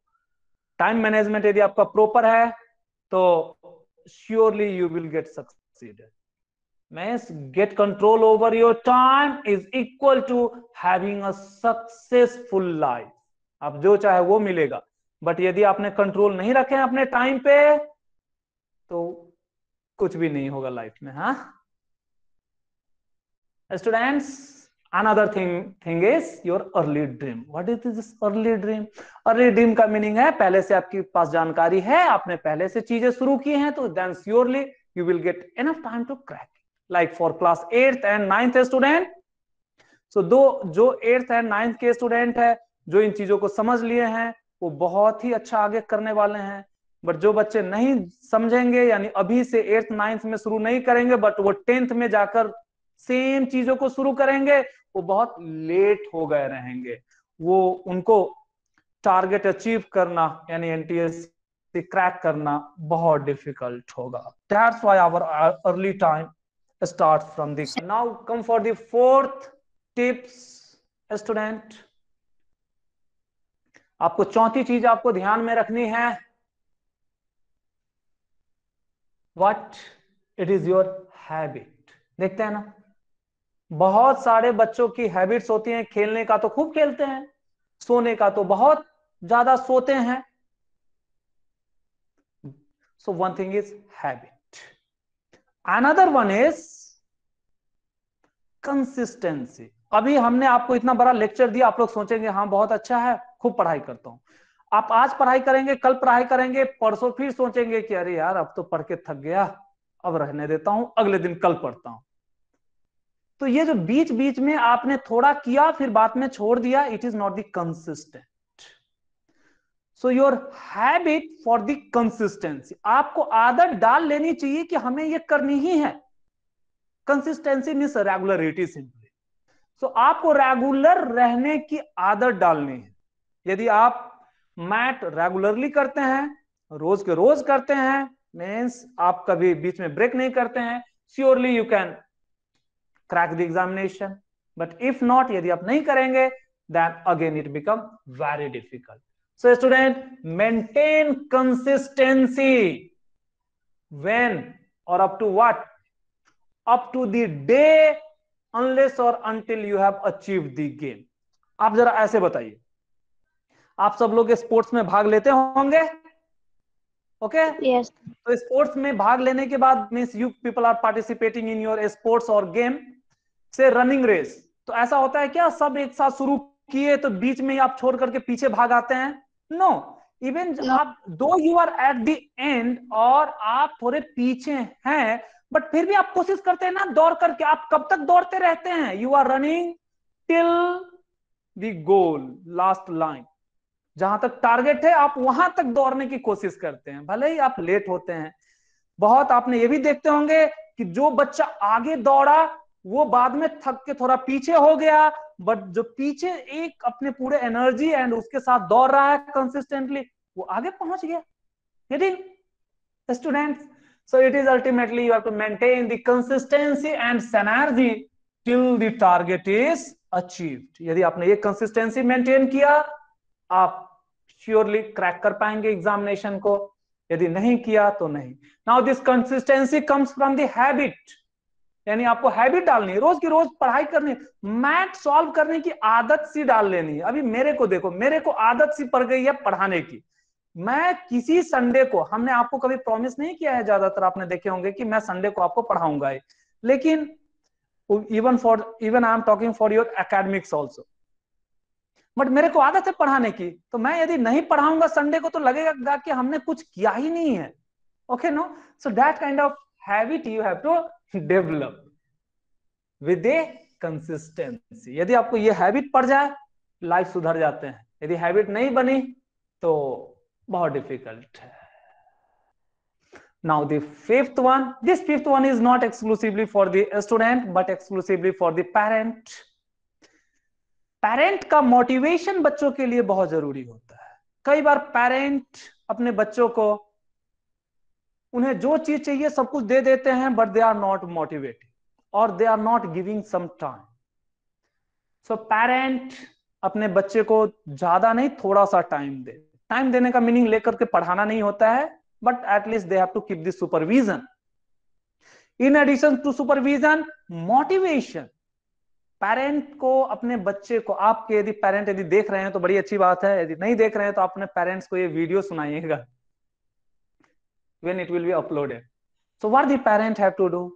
Parent को अपने बच्चे को मोटिवेट करना है सही तरीके से। दो अ पेरेंट इज़ नोइंग कि उनका बच्चा 40 मार्क्स लाता है आउट ऑफ़ 100 तो 40 मार्क्स ला रहा है तो उसके अगले दिन पेरेंट यदि उनकी पिटाई करें कि तुम 40 क्यों लाया तो बच्चा कभी 60 नहीं लाएगा। But if the parent or teacher is motivating, okay, dear student, okay, my son time you are, you have got the 40 but कोई बात नहीं है। आपने खूब मेहनत किया बट थोड़ा अच्छा हो सकता है। नेक्स्ट टाइम हम लोग 45 ही लाएँगे। Do not give the target of 80 कभी नहीं आएगा 80 बट यदि 40 से 45 45 से 50 means step by step we are increasing with the motivation तो बच्चे को भी ज़्यादा बर्डन नहीं फील होता है एंड बच्चा इंप्रूव होता है। And another important thing for the last day which is the role of the parent और द टीचर मैं तो आप सबको बतलाता ही हूँ, आपको लास्ट डे जब आते हैं एग्जामिनेशन के, that a parent should give the compassion to their student. Means what?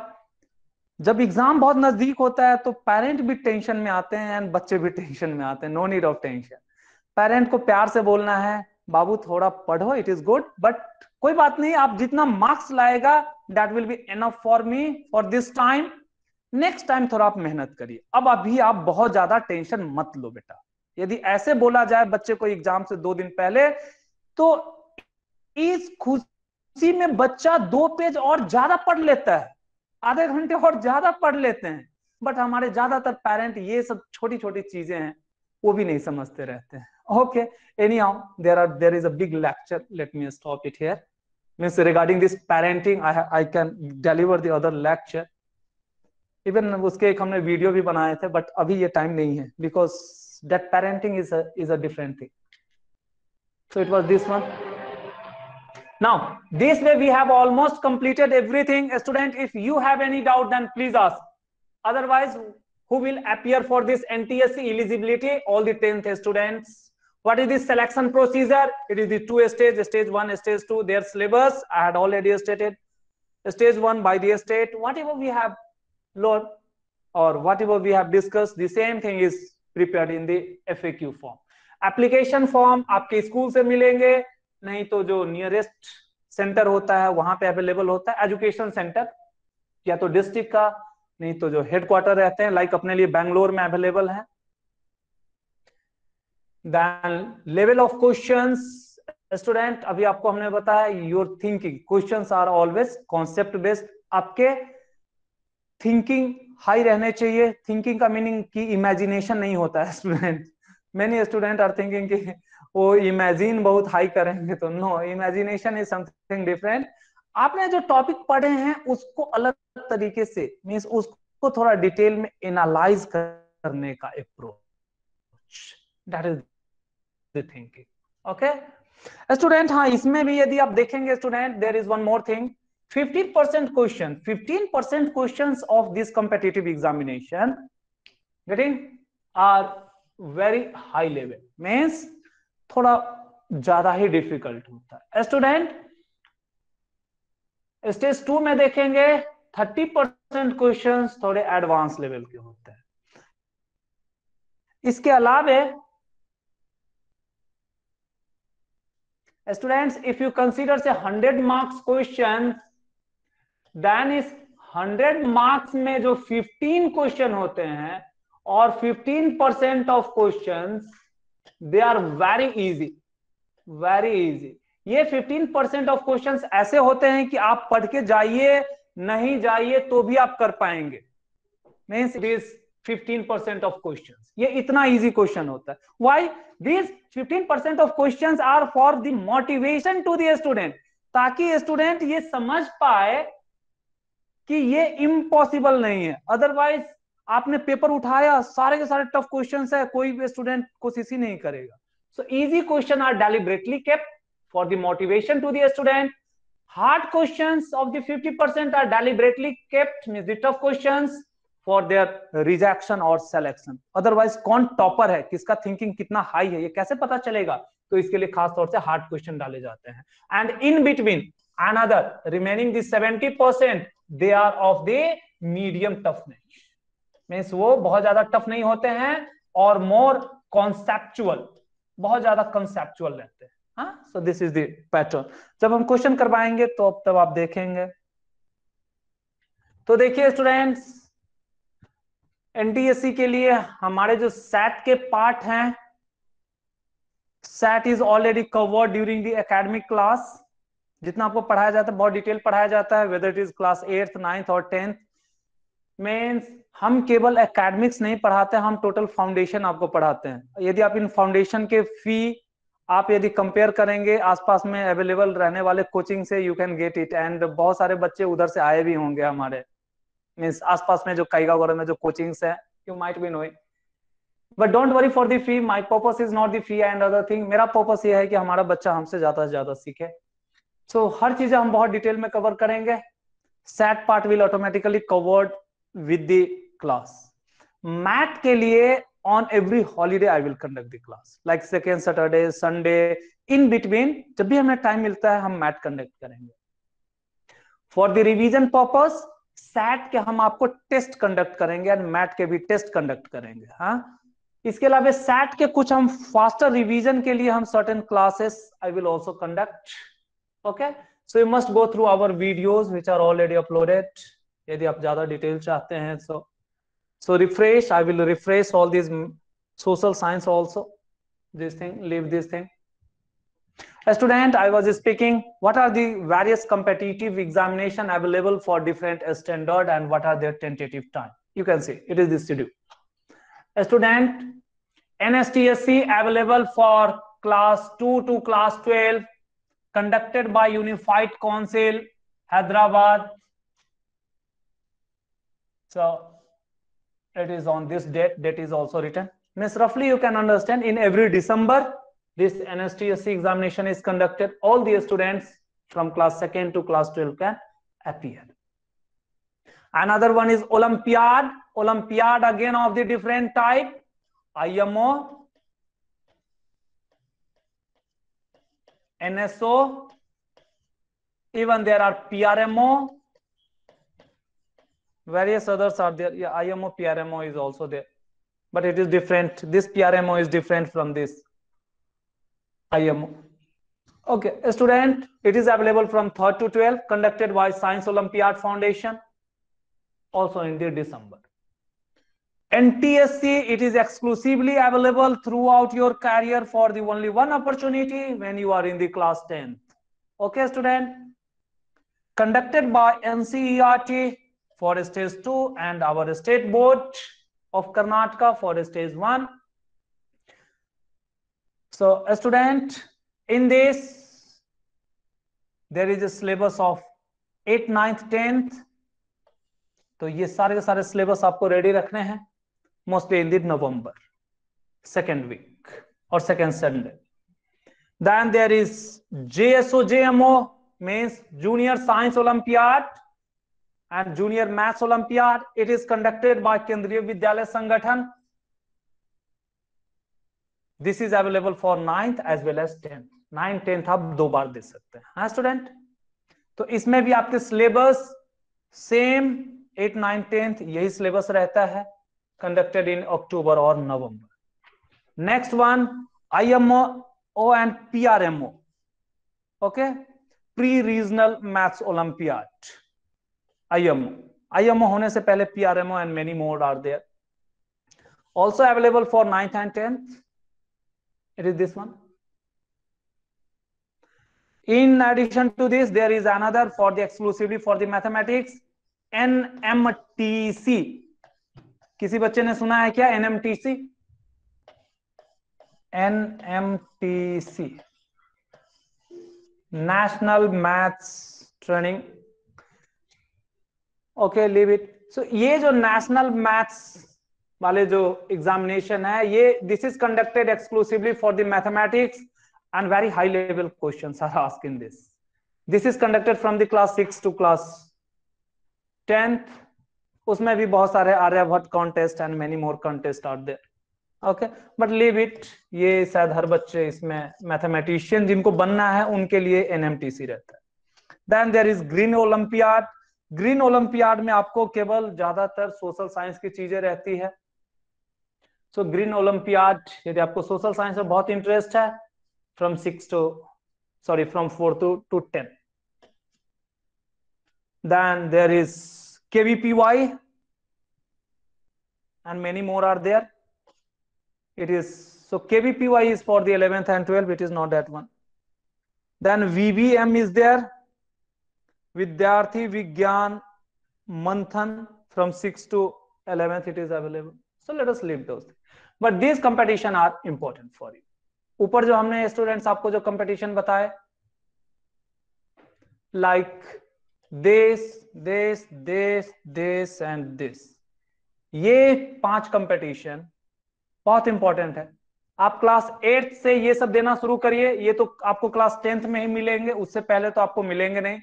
इसके अलावा ये जो बाकी चार कंपटीशन है, ये बहुत ही इंपॉर्टेंट है हमारे क्लास एट्थ एंड नाइन्थ के बच्चों के लिए।